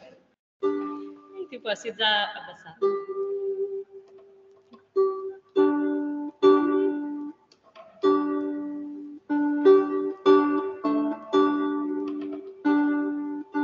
Ok, ora una quarta sotto da nete, quindi l'ultima che accordo è la mia partenza per la prossima. Quindi dalla nete devo andare una quinta sotto per fare l'icanos. Quindi nete, licanos, licanos, abbastanza. Licanos. Ora dall'icanos una quarta sopra, quindi un gioco di quarte e quinte. Per fare la paranete, licanos, paranete, paranete.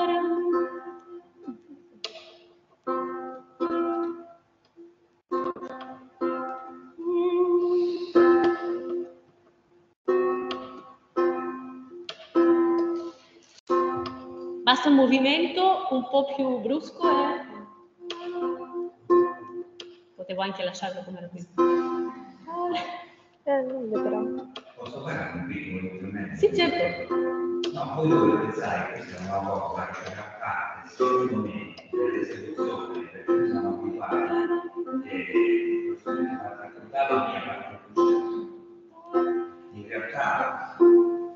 legame il concetto per essere vario strumento, e ci no, Va bene? La guarda. No, si sente. eh, Esce un po' calante. no? Perché non la tiene più che altro? Come? l'avevi trovata non la tiene. Perché mm, è nudo.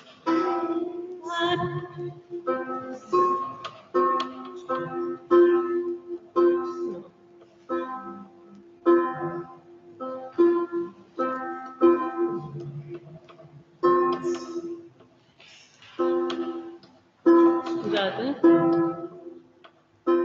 Va bene, lasciamolo. Paraniti una quinta sotto per fare paripate, paraniti paripate. La lascio, non la tocco perché non si sa mai. E ora una quarta sopra per fare la trite. Paripati trite.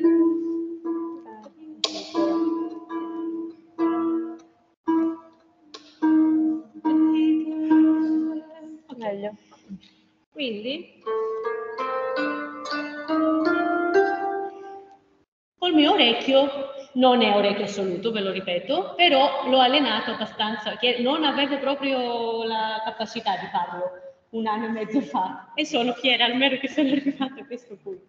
E quindi passando a questa cosa, vediamo Ah, sì, no, volevo dire un'altra cosa. Abbiamo un mixolidio, ho detto, che semitono, tono, tono, semitono, tono, tono. Ciò non vuol dire però che non ho la possibilità di andare in un altro modo, se parto dalla corda avanti. Perché ora rientra, eh, rientra molto, diventa musicologico l'argomento, però ogni modo è un ethos diverso, quindi si può fare, ecco, invece di parlare di semitoni e toni parliamo di ethos. Il mixolidio ha un ethos, il dorico ha un altro ethos musicale, come il frigio e come il lidio. E questo lo possiamo capire suonando una melodia che sicuramente conoscono tutti, che è um, Twinkle Twinkle Little conoscete, no? Quindi, vediamo, partendo dalla seconda diventa un lidio, che secondo me è il modo della, della, del brano. Quindi. Lei non è accordata? Mm, sì. Adesso sì.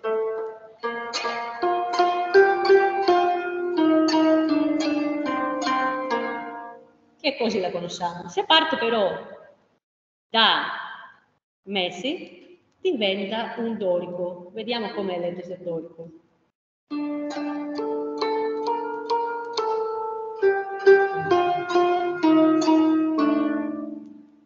proprio un altro carattere. Se parto dalla prima diventa un mixolito, è un mixolito e diventa così il carattere.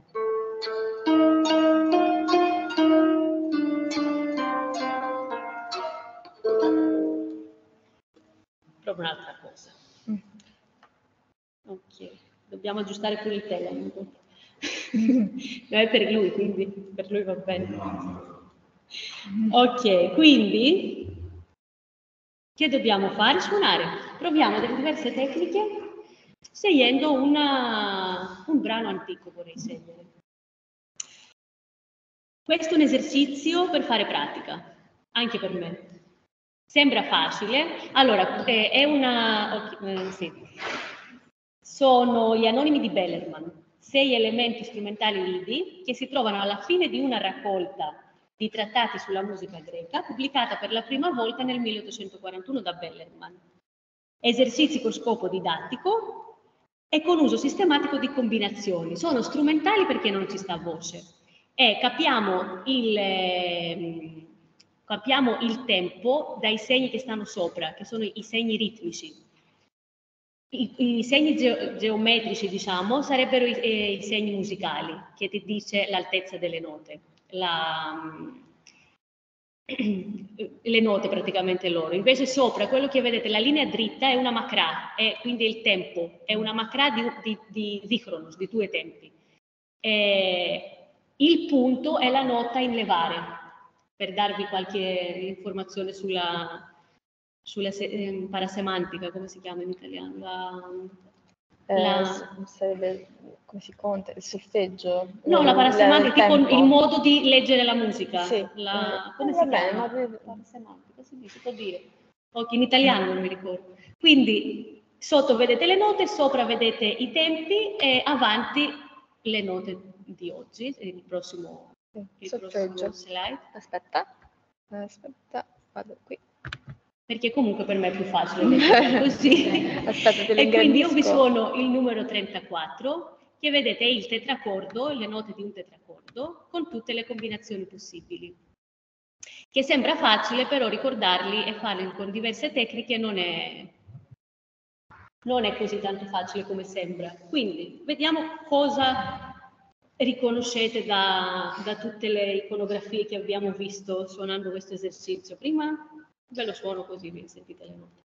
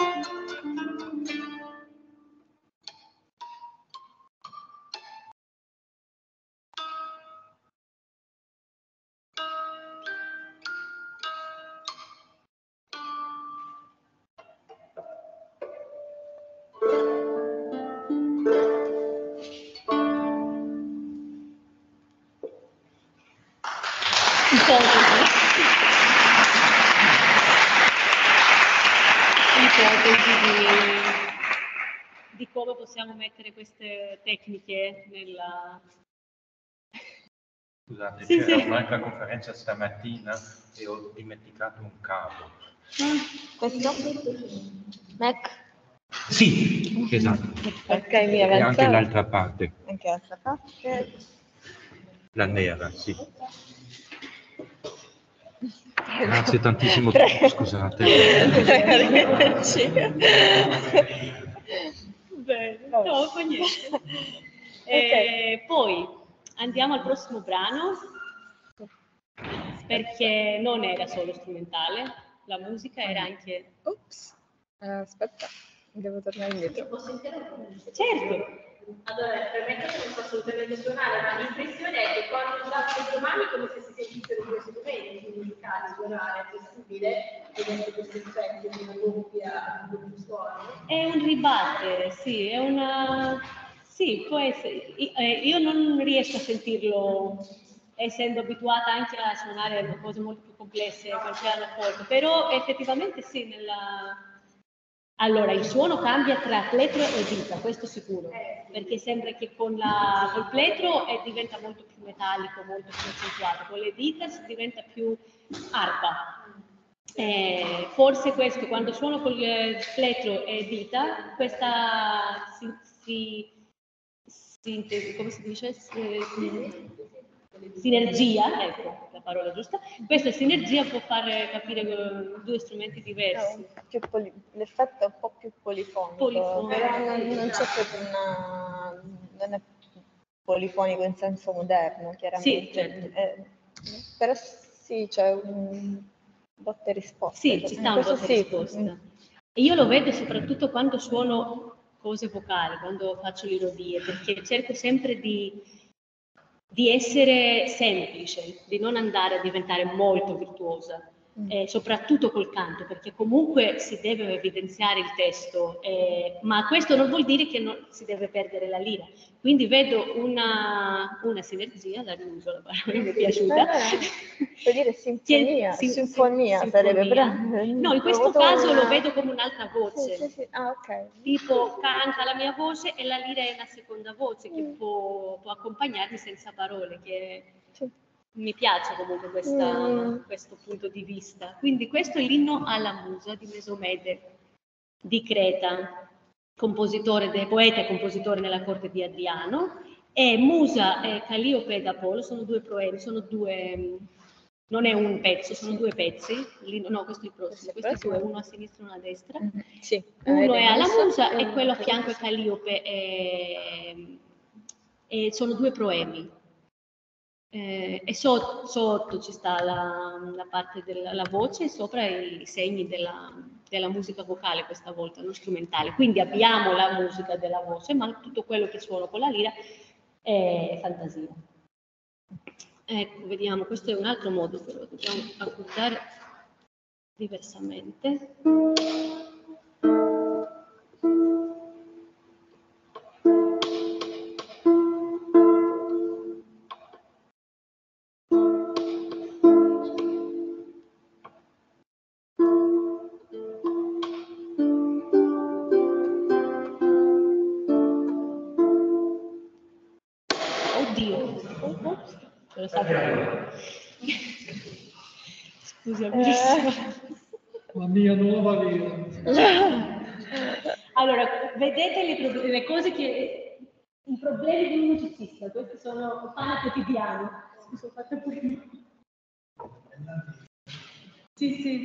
Fare una quinta. Scusa. Non c'è problema. Allora, vediamo di accordare ora questa. Dai. questa è accordata molto più in basso.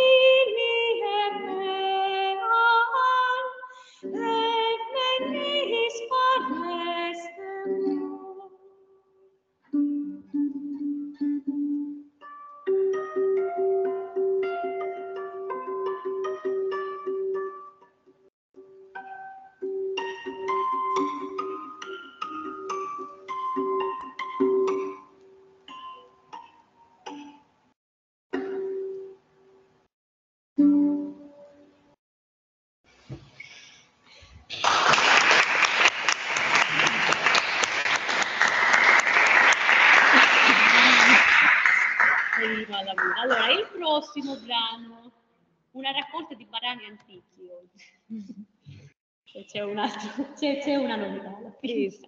alla fine. Ok, qua abbiamo l'ino delfico di Atenaios. Qua, eh, l'hai spoilerato. Eh, no, vabbè.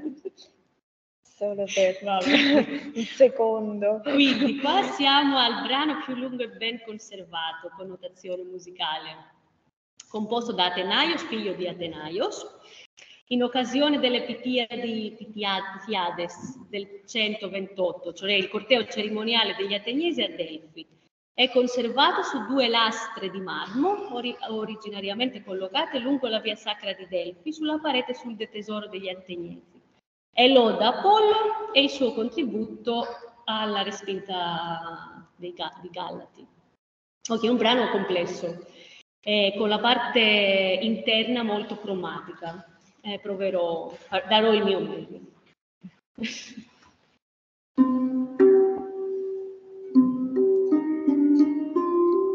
Και να βάθει δέντρο, ναι, λάχεται δύο σε ρίβρο μου, θύγατε σε βολενή.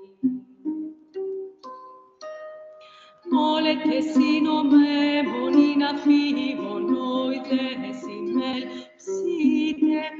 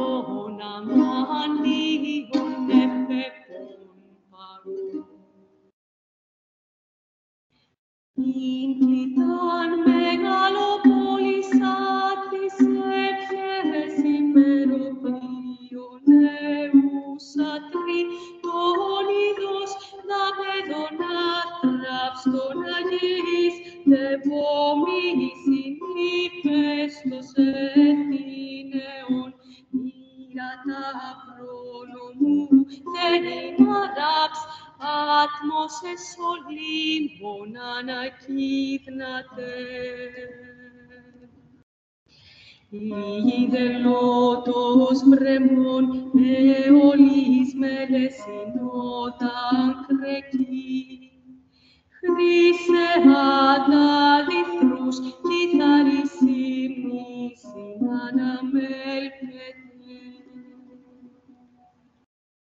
Ποτεχόν προτάσει εσμόσατηών έναχρι σπιτών σε καμπελούτι Σόταλων πιθών και πάω να πρώτα σε φεού πασιμού της προφέλης λογία τρίποτα μανίωνος ήλεσον μέγας εχθρούρη δρακών ο τετεκός γάσα πέτερες ασέ όλων ελίκταν φιάν.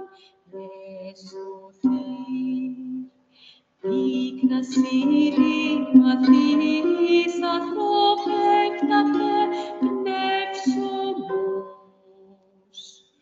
ως δε γαλατάναρης παρβαρός, κάντος σε πηγαίαν χιόνος όλε τι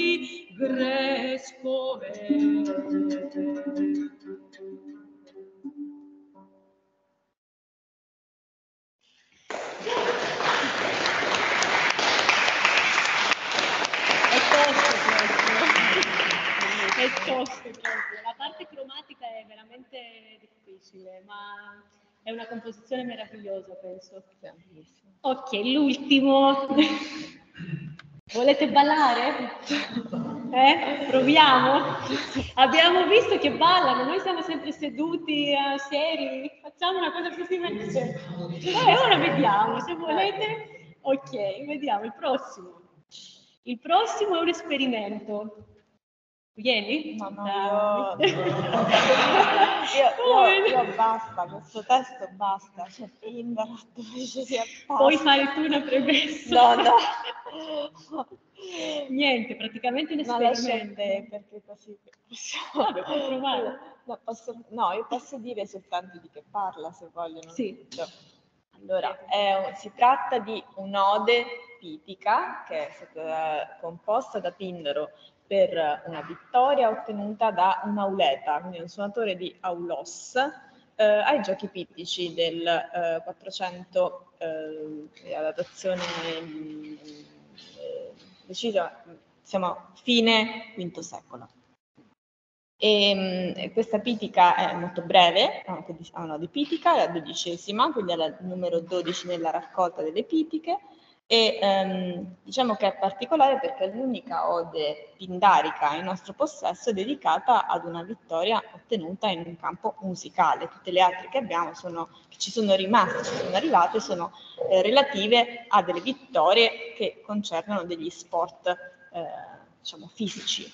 Ehm, e quindi in questa ode si, si narra la storia di quello che probabilmente è il pezzo con cui questo Auletes ha vinto in questa gara c'è un dibattito su perché proprio questo, si parla proprio di questo mito che ha un nomos dalle molte teste inventato da Atena che imita il lamento delle, delle gorgoni sopravvissute dopo che Medusa è stata decapitata da Perseo.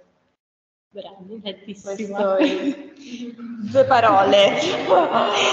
sì. Ok. Eh, non c'è musica, non c'è testo Non c'è musicale, musica, però infatti. c'è metro. Sì. Abbiamo un metro, una varietà di metri, diciamo. Ci sta il, ci sta dactylos anche, ehm, che è una, lo, lo- lo sapete il metro? C'è il metro dattilico in, tri- in trimetri anche, quindi lungo, breve, breve, lungo, breve, breve, lungo, lungo, che diventa quindi un- in, in musica tre quarti o quattro quarti, quindi pam, pa, pa, pam, pa, pa, pam, pa, pa, pam, pam, pam, pa, pa. E questo è un metro eh, regolare, che però viene, ehm, come dire, in- non interrotto, viene, viene- si intromette un epitritos, un epitrito sia breve che lungo, quindi un lungo, breve, lungo che è un 5 ottavi o un epitritos lungo che diventa lungo, breve, eh, lungo, breve, lungo, lungo, quindi pam, pa, pam, pam, pam, pa, pa, pam, pa, pam, pam, quindi su tre che non è regolare, irregolare si fa un saltino, quindi se aspetta che devo ancora un saltino, perché così lo capisco il Accordiamo tre. saltando. Virtuosismo.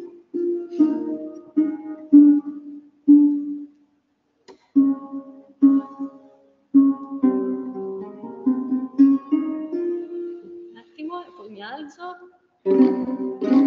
Ok, quindi, ora lo leggo perché se no lo trovo dietro. No, no, andiamo là. Vieni se vuoi. Come no? Ma sempre io sto. Chi è? Ora sì. Allora, le, le dattilo, dai, lasciate il vinto badato. Quindi sarebbe il metro regolare questo, il dattilo.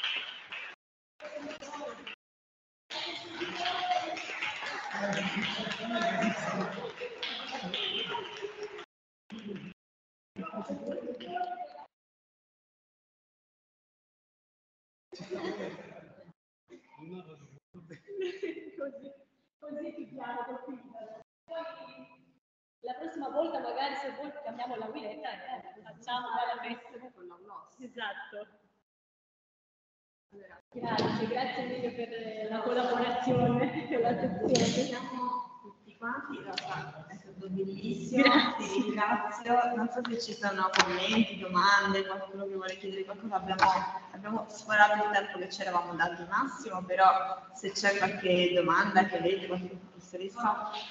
Bellissimo, Grazie. mi ha fatto capire che ricerche fotografiche che sto facendo salto delle scene grandi ha un senso.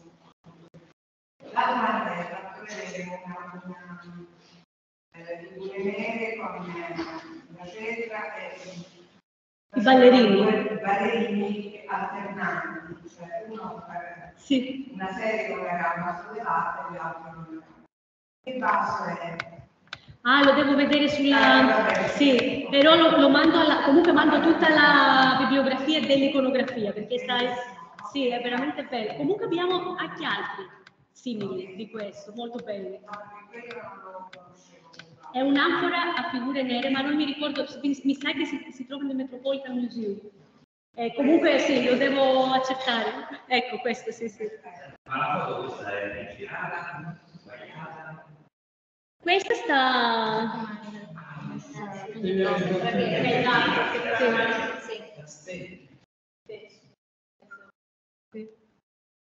Adesso viene che questa domanda già l'ho fatta l'altra volta, non mi ricordo.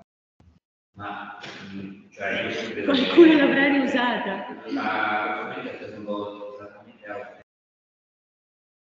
Sì. Potrebbe essere. Sì, perché praticamente la- tenendola in questo modo non si dovrebbe vedere la- il ponte. Questo dici? Sì, esatto. Sì, sì. Sì. Dobbiamo, Potrebbe- dobbiamo un po' chiedere, sì, sì, sì. No, potrebbe essere, io lo faccio sempre girare le foto, quindi potrebbe essere che è stata anche caricata nel- con tutta la fonte.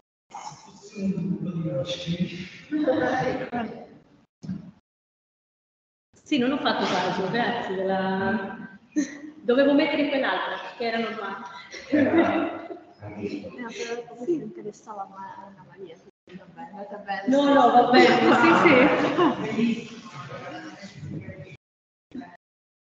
Io ho una domanda per la mia maestra. Prego. Allora, alla luce di tutti questi studi, di questi lunghi anni, eh, che idea ti sei fatta sulla complessità della musica antica? Perché uno magari tende a credere, avendo in mano uno strumento del genere, che eh, la musica che ne potesse derivare fosse una musica semplice, anche se si guardano altre immagini di persone che ci, ci cimentano sullo strumento, non fanno altro che magari semplicemente strimpellare. Invece l'idea di complessità e anche ciò che magari ancora vorresti Io penso comunque che non sono arrivata nemmeno al 10% di quello che si possa fare con questo strumento. Però per quanto riguarda la complessità esecutiva, posso solo dire che mh, una, una cosa che mi fa pensare sono gli agoni delfici, quindi ogni quattro anni uno deve andare davanti al pubblico a, esegui- a esibirsi, a mettere in mezzo la sua rep- reputazione e a superare quello dell'anno scorso. Quindi non penso che si suonava come si suonava magari a casa in una- un contesto familiare o da camera intimo. Penso che con la chitarra siamo arrivati a una performance molto virtuosistica. Poi dall'inno delfico possiamo vedere anche la complessità mh, composizionale, sì, abbiamo anche microtoni, abbiamo generi enarmonici, forse non usati dopo, non, non molto parlati nell'uso, però ci sta il genere di un quarto di tono, di, due, di, di microtoni, insomma che poi non, non posso, non posso dire niente di certo, perché tutto quello che posso dire è, è un'ipotesi mia, però questo uno o due mi fanno pensare che non è una cosa molto semplice. Eh, questo. Poi ci sta la didattica comunque che tende a, a- a non far diventare virtuoso, però in Grecia le gare si fanno perché? Per far vedere quanto siamo bravi, chi è migliore, quindi una megalomania c'è comunque. C'è anche gare ci sono a un certo punto dei pezzi del repertorio. Certo, Per tipo se io vado a Delphi farò probabilmente il Nomos Teusicosti. il Nomos No, poi per- con, con, sì. no, con la che era probabilmente Il Cecaretico del- anche. ecco, quindi dopo, a un certo punto ci sono dei pezzi per cui come oggi ai concorsi Mhm, sono concorsi esatto. pianoforte Tchaikovsky deve suonare il primo concerto di Tchaikovsky che non è la cosa più facile anzi Esatto. non assolutamente quindi diciamo che un, un minimo di paragone probabilmente no? Sì, vero, nomi- è per questo che dico non, non sono arrivata nemmeno a poco a quello che si poteva fare, ho l'impressione. ma sei bravissima Grazie, sto cercando di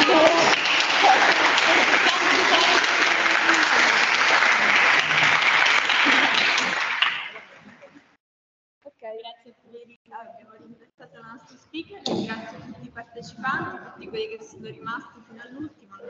Mi scuso per aver superato un pochino il tempo che ci eravamo dato, ma è stato un grande piacere. Secondo me saremo- rimaniamo fino alle 7. Va bene.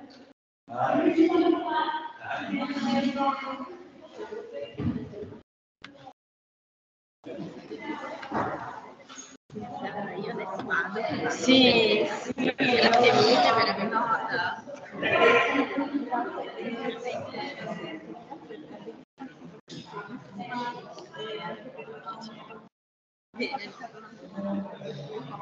Ah, ok, va bene. Piacere. Allora, ti lascio il libro. Grazie, bellissimo. E ne volevo lasciare una, Certo, devo, devo farlo io, non vi preoccupate.